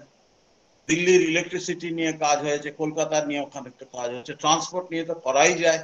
র্যাপিড ট্রান্সপোর্ট স্কিম যেটা সিআইটি নিচ্ছে রিচার্ড নিচ্ছে, এবং তার ফলশ্রুতি হিসাবে এখানে কি ঘটছে? সুতরাং নগরকে একটা নতুন রূপ দেওয়ার চেষ্টা, আধুনিক করার চেষ্টা, তার সঙ্গে যে নিয়ন্ত্রণবাদী রাষ্ট্রের যে অভিঘাত, তার যে পারস্পরিক সম্পর্ক, এই নিয়ে আলোচনা চলছে। এবং প্রশান্ত কিদাম্বির বম্বের ওপর লেখা কিংবা পার্থর লেখা, পার্থর লেখায় অবশ্য আরও বড় একটা দৃষ্টিভবন আছে যে কীভাবে এর ভারতবর্ষ, যারা ভারতবাসী, যারা দেশজ মানুষ, তারাও একটা পার্টিসিপেটরি প্রসেসের মধ্যে যুক্ত হচ্ছে।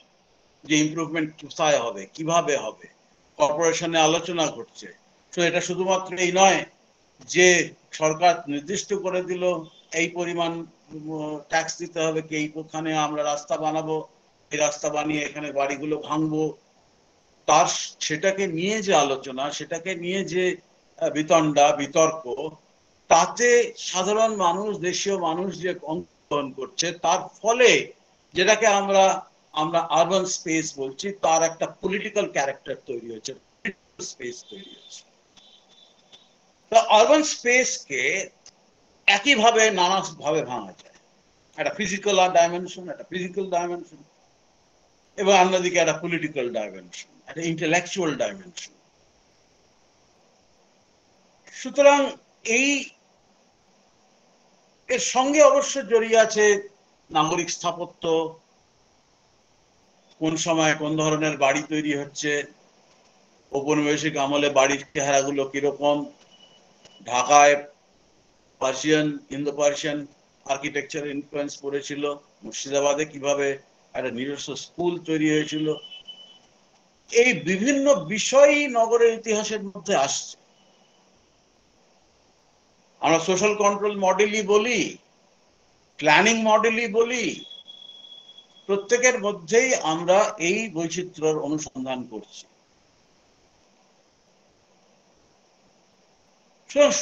সুতরাং তত্ত্ব দিয়ে হয়তো এই ধরনের ইতিহাস আলোচনা করা সম্ভব নয়। সামাজিক ইতিহাসের যেরকম কোন সীমারেখা নেই, নাগরিক ইতিহাসের হয়তো ইতিহাসের সেরকম ভাবে কোন সুনির্দিষ্ট সীমা নির্দেশ করা অসম্ভব। নগরের যা ইতিহাস লিখবেন, তাকে নানা লোকের কাছে যেতে হবে। যারা ভূগোলবিদ তার কাছে যেতে হবে, যারা নদী নালা নিয়ে কাজ করেন তাদের কাছে যেতে হবে, যারা সমুদ্র নিয়ে বোঝেন তাদের কাছে যেতে হবে। অনেকের কাছ থেকে অনেক কিছু সংগ্রহ করে নিয়ে তবে তারা কোনো একটা শহরের ইতিহাস লিখতে বিশেষ বিশেষ শহর। সামুদ্রিক, সমুদ্রবর্তী শহরের ক্ষেত্রে যা পদ্ধতি কোন একটা ল্যান্ডলক টাউনের ক্ষেত্রে সেই পদ্ধতি হবে না, কিন্তু আমাকে যেতে হবে অন্য মানুষের কাছে।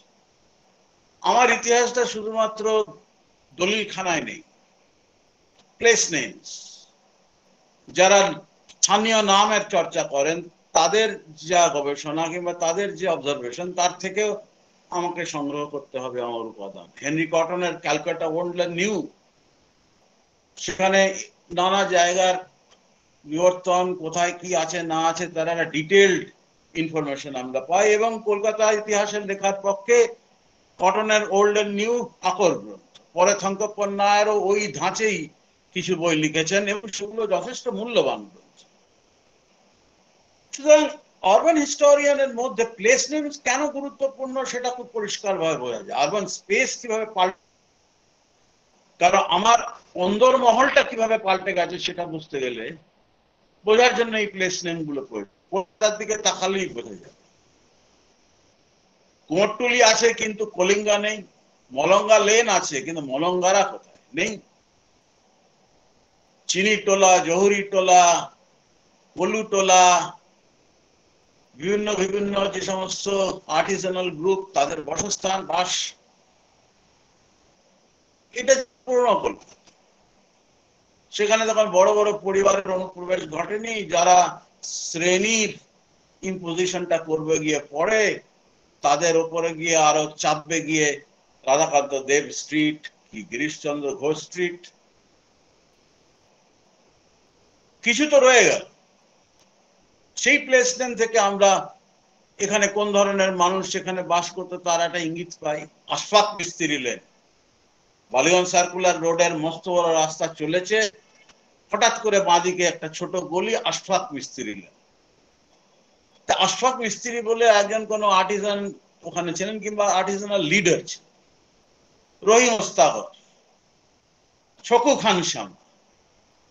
So a place name studies also should be regarded as very important resource for urban historian in order for them to study the space, the transformation of the urban space. আমাকে সাহিত্যের যেতে হবে কলকাতার যে রূপান্তর ঘটছে বিশ শতকের গোড়ায় উনিশ শতকের শেষ থেকে যখন ভবানীপুর হয়ে ক্রমশ দক্ষিণ কলকাতা গড়ে উঠছে, যেটা আরও ত্বরান্বিত হবে CIT scheme Southern Avenue Rashbehari Avenue এগুলো গড়ে হওয়ার পরে, সেটার দলিলের থেকে অনেক বেশি গ্রাফিক্যালি ডিসক্রাইব করা আছে বিভিন্ন ধরনের সাহিত্যিক উপাদান। যে কেমনটা ছিল গড়িহাট কেমন ছিল। কাশ্মীর এমনের দুপাশে গাছ, তাদের ফুল রসা পাগলা থেকে যে রাস্তাটা সবাই টালিগঞ্জের দিকে চলে চলে গেল, সেটা কি ছিল মসজিদগুলো কি হলো যেগুলো পুরোনো মসজিদ ছিল? তার ফলে তো আমরা একটা শহরের অন্দরমহলটা কীভাবে পাল্টেছে সেইটা বুঝতে পারব। সেটা শুধুমাত্র সেই বড় স্কেলে history of the upper chamber দিয়ে বোঝা যাবে না। আমাকে অ্যান্টিকুয়ারিয়ানের মতন কাদা খোঁচা পাখির মতন খুঁজতে হবে যে এই জায়গাটার কি নাম ছিল, এখানে কি কালীবাড়িটা কত দিনের urban historian necessarily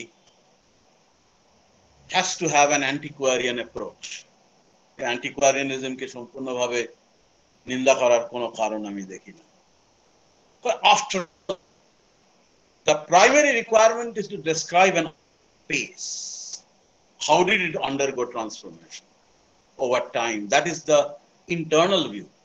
The insider view. নানা কারণে কলকাতা গড়ে উঠেছিল, কিন্তু কলকাতা কীভাবে গড়ল? কীভাবে তার রূপরেখা পাল্টালো? কীভাবে তার চেহারা পাল্টালো? কীভাবে সে এক পোশাক ছেড়ে অন্য পোশাক পরতে শুরু করল? এই বিষয়টাও তো আমাদের আরবান হিস্ট্রির অঙ্গ। অন্তত কয়েকদিনের বক্তৃতা থেকে আমি বুঝতে পেরেছি যে আমরা যে অ্যাপ্রোচে আরবান হিস্ট্রি পড়াতাম, সেটা সম্পূর্ণভাবে অপ্রাসঙ্গিক হয়ে যায়নি। একদম শেষে একটা কথা বলা দরকার। সেটা হচ্ছে নাগরিক সত্তা। নাগরিক সত্তার সঙ্গে রাজনৈতিক সত্তা, সামাজিক সত্তা, এগুলো সব জড়িয়েই আছে। একটা নগর কেন্দ্র করে যে ইমোশন, যে সেন্টিমেন্ট যে উদ্বেলতা কিংবা দুশ্চিন্তা, যেটা ঠিক ম্যাপের মধ্য দিয়ে বোঝা যাবে না। কীভাবে কলকাতা পাল্টালো সেভাবে বোঝা যাবে কিন্তু কলকাতা নিয়ে যে ভাবনা চিন্তা সেটাও তো নগরের ইতিহাসের একটা অঙ্গ। একটু আগে আমরা নকশার ওপর যে বক্তৃতাটা শুনলাম, অত্যন্ত মনোগ্রাহী। তার থেকে স্পষ্ট বোঝা যাচ্ছে যে এই ধরনের সাহিত্যিক উপাদানের মধ্য দিয়ে শুধুমাত্র যে আরবান স্পেসকে বোঝা যাচ্ছে তা নয় শহর সম্বন্ধে মননকেও বোঝা যাচ্ছে, মানসিকতাকে বোঝা যাচ্ছে। শহর নিয়ে বিভিন্ন দৃষ্টিভঙ্গিকে বোঝা যাচ্ছে। উনিশশো সালে যখন রাজধানী স্থানান্তরিত হলো, তারপরে আমরা যদি এখানকার সাময়িক, কলকাতার সাময়িক পত্রগুলোর লেখাপত্র দেখি, সেখানে দেখব যে তাদের শহর কলকাতা নিয়ে কি আক্ষেপ? যে আমাদের এত বড় একটা শহর, এত গুরুত্বপূর্ণ শহর, সেখান থেকে ইংরেজরা নিয়ে চলে গেল, ইংরেজরা বাঙালি বিরোধী বলেই এমনটা করেছে। ইংরেজদের মধ্যে অনেকদিন থেকেই চিন্তা ভাবনা ছিল যে দিল্লিতে নিয়ে গিয়ে বসলে ভালো হয়। কিন্তু তখন উনি কার্জন বাধা দিয়েছিলেন, তারপরে বিরাট সাম্রাজ্যবাদী কিন্তু কলকাতা সম্বন্ধে তার খুব প্রীতি ছিল। পরে গিয়ে উনিশশো সালে এই সিদ্ধান্তটা নেওয়া হলো। কিন্তু সিদ্ধান্তটা তারা তাদের কারণে নিয়েছিল। কিন্তু তার ফলে কলকাতাকে কেন্দ্র করে যে মানুষের যে আনুগত্য তাদের যে উদ্বেলতা, তাদের যে দুশ্চিন্তা, তার মধ্য দিয়ে যে মননের আমরা ইঙ্গিত পাই সেটাও নগরের একটা বড় সংকট যেটা খানিকটা আমরা ঢাকা সম্বন্ধে গত দুদিন আগে ঢাকার কথা বলতে গিয়ে ওনারা বলেছেন যে উনিশশো এগারো সালে যখন পার্টিশন তখন যে উদ্দীপনা দেখা গিয়েছিল যে ঢাকা এখন একটা বড় শহরের দিকে এগোবে, সেইটা খানিকটা নিস্তরণ সেটা খানিকটা ভাটা পড়ে।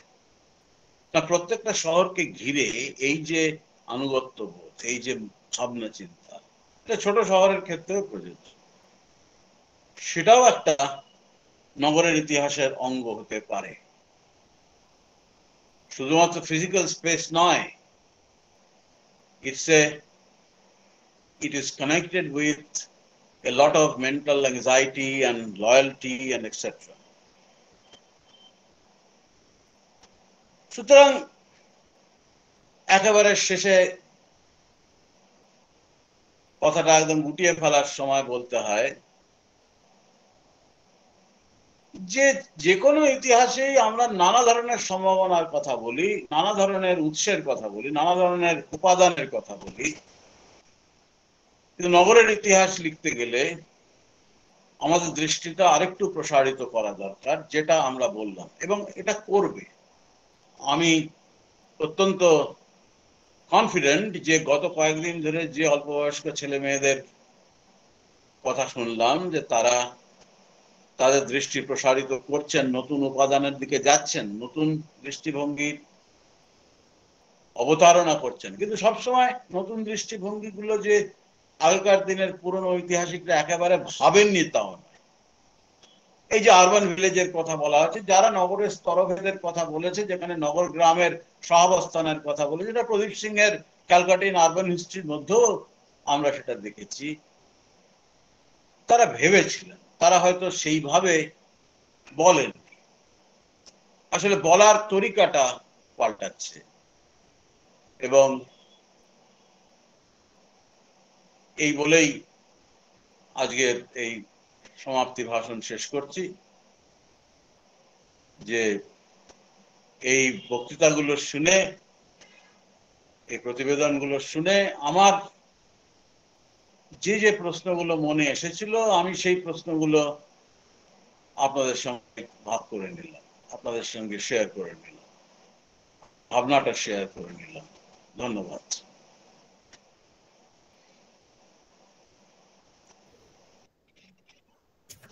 অনেক ধন্যবাদ প্রফেসর চক্রবর্তীকে। এই অন্তিম ভাষণে তিনি যেভাবে আমাদের গোটা ওয়েবিনারের যে থিম বিভিন্ন প্রেজেন্টেশনে যে থিমগুলো বারবার ফিরে এসেছে, সেগুলিকে এর আগের যে আরবান হিস্ট্রি চর্চা, তার সঙ্গে এখন নতুন গবেষকরা কীভাবে ভাবনা চিন্তা করছেন, এই দুটোকে মিলিয়ে তিনি যেভাবে আমাদের সামনে পুরো ফিল্ডটার একটা ইতিহাস তুলে ধরলেন, সেটা আমার মতো যারা শহর নিয়ে আগ্রহ বা শহর নিয়ে চর্চা করে, তাদের কাছে তো বটেই।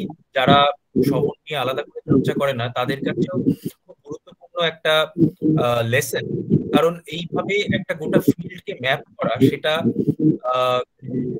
কম জনই পারেন এবং স্যার যেভাবে আমাদের সামনে পুরো বিষয়টাকে তুলে ধরলেন, সেটা নিঃসন্দেহে এই অন্তিম ভাষণের জন্য একেবারেই উপযুক্ত একটা fitting and to the to the webinar আমরা যেরকম বলতে পারি। এবং যেভাবে যেই বিষয়গুলো উঠে আসলো, আমি একটু যদি রাউন্ড আপ করার জন্য আমাদের আলোচনা যদি একটু বলি যেটা প্রথমই আমার মনে হচ্ছে স্যারও যেটা বললেন যে বিভিন্ন স্তরের কথা। এই যে স্কেল এই স্কেল বিভিন্ন স্কেলে যেভাবে আমরা শহর ভাবতে পারি। শহর এবং গ্রামের মধ্যে নানা স্তর বিন্যাসের কথা আমরা বিভিন্ন লেকচারে শুনেছি এবং স্যার খুব চমৎকার ভাবে সেটাকে প্রাঞ্জল ভাষায় বললেন, সেটা একটা বড় দিক নগরের ইতিহাস চর্চার ক্ষেত্রে উঠে এসেছে। একই সঙ্গে স্থানিক বৈচিত্র্যের কথা উনি বললেন এবং তার সঙ্গে যে গ্রাম এবং শহর, এই দুই নিয়ে ভাবনার মধ্যে যে মিল অমিলের জায়গাগুলি। গ্রামকেও একভাবে নেগেটিভ পোর্ট্রেয়ালের মধ্যে মধ্যে দেখা হয়েছে। যেখানে আমরা দেখেছি যে উনি করলেন ইডিএসি অফ রুরাল লাইফ একই সঙ্গে শহরকেও আমরা দেখেছি আমরা একটু আগে প্রিয়াঙ্কার লেকচারে শুনেছি। এবং জেনারেলি আমরা দেখেছি যে শহর একটা নেগেটিভ চিন্তা ভাবনা অনেকাংশেই কাজ করে, যে অ্যান্টি আরবানিজম এর কথা স্যার বললেন। একই সঙ্গে সঙ্গে নাগরিক সত্তার কথা বলেছেন, মননের কথা বলেছেন, শহর নিয়ে চিন্তা ভাবনা ভালোবাসার কথা বলেছেন। এই সামগ্রিকভাবে যেভাবে তিনি শহর সম্পর্কে আলোচনাকে তিনি উল্লেখ করেছেন সেটা আমাদের মনে হচ্ছে অন্তত আমার মনে হলো যে, আমরা এই চার দিন ধরে যে বিভিন্ন লেকচারগুলো শুনলাম এবং বিভিন্ন আসপেক্ট যে লেকচারগুলো শুনলাম, সেগুলোকে সুন্দরভাবে তিনি একই সূত্রে বেঁধে আমাদের সামনে উপস্থাপনা করলেন। অত্যন্ত ধন্যবাদ স্যারকে এবং ধন্যবাদ। আমি আলাদা করে দেওয়ার দিতে চাই না, কারণ স্যার আমাদের সঙ্গে আছেন এবং আগেও বলেছেন বাংলা ইউনিভার্সিটির বিভিন্ন অনুষ্ঠানে এবং ভবিষ্যতেও আবার আশা করব স্যারকে পাবো এবং সশকে নিয়ে আসতে পারব সামনাসামনি আলোচনায় অনেক বেশি আলোচনার সুযোগ থাকে সামনাসামনি কথাবার্তা এবং সেটা এই বৈদ্যুতিন মাধ্যমে অনেক সময় হয়ে ওঠে না। বিশেষ ছাত্রছাত্রীদের অনেক প্রশ্ন থাকে। তারা হয়তো একটু শঙ্কিত করে এই মাধ্যমে এরকম ভাবে কথা বলতে।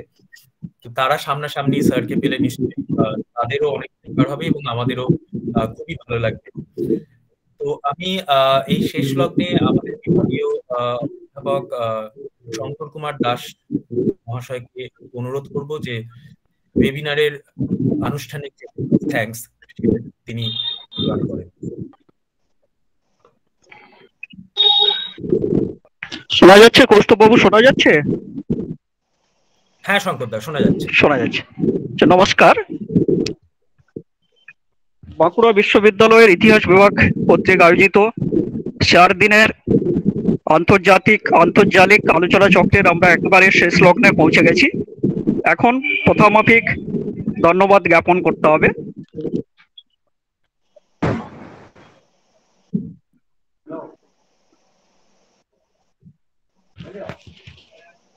দুঃখিত একটু ফোন এসে গেছিল।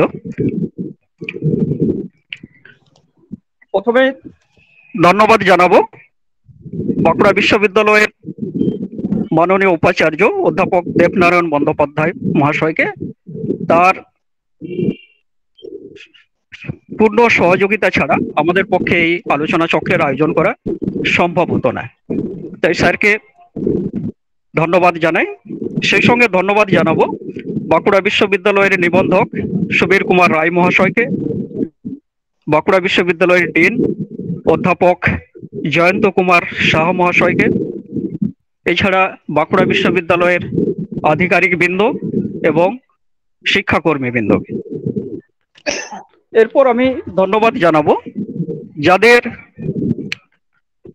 মূল্যবান বক্তব্য উপস্থাপনের মাধ্যমে আমাদের আলোচনা চক্র সাফল্যমণ্ডিত হয়েছে।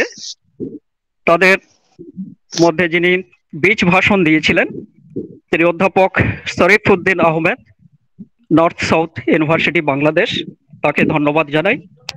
তিনি যেভাবে আমাদের এই আলোচনা চক্রের সুরটা বেঁধে দিয়েছিলেন, সেই ধারাটিকে যারা অব্যাহত রেখেছেন এবং সেটাকে ক্রমশ সর্বোচ্চ শিখরের দিকে নিয়ে গেছেন, তারা হলেন ডক্টর দেবাশিস বসু, বিশিষ্ট গবেষক।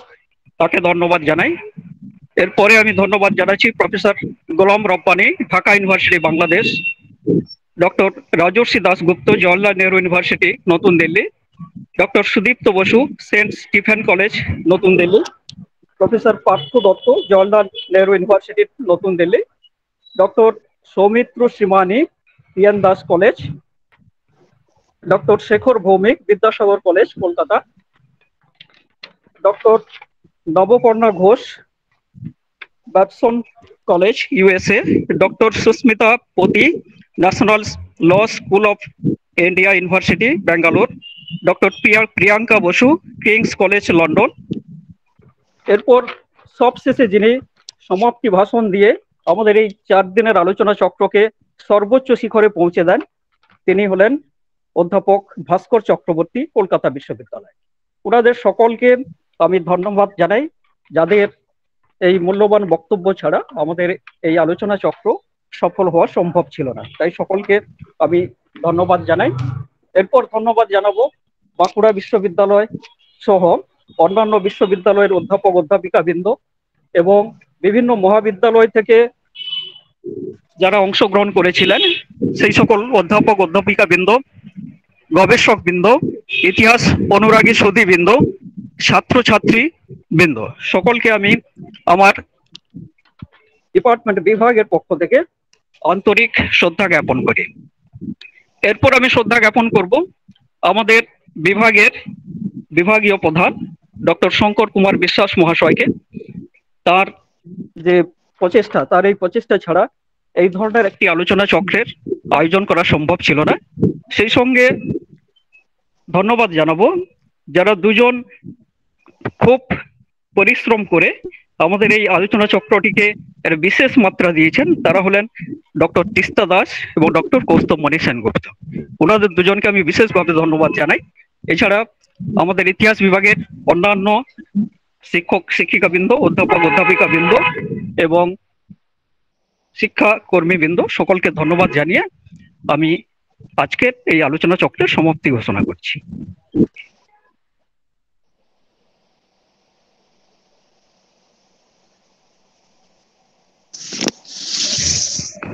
কৌস্তবাবু হ্যাঁ হ্যাঁ ধন্যবাদ। আমাদের শেষে একটাই বলার বিষয় আছে যে, এই লেকচারগুলো রেকর্ড করা হয়েছে, সেটা ডিপার্টমেন্ট অফ হিস্ট্রি বাঁকুড়া ইউনিভার্সিটির যে ইউটিউব চ্যানেল আছে, সেখানে আপলোড করে দেওয়া হবে আগামী সপ্তাহের মধ্যে, আগামী সোমবার কি মঙ্গলবারের মধ্যে। তো কেউ যদি আগ্রহী হয়, তাহলে সেখানে গিয়ে এই লেকচারগুলো শুনতে পাবে। অনেক ধন্যবাদ। আমরা এখানেই তাহলে আমাদের এই আলোচনা চক্র শেষ করছি।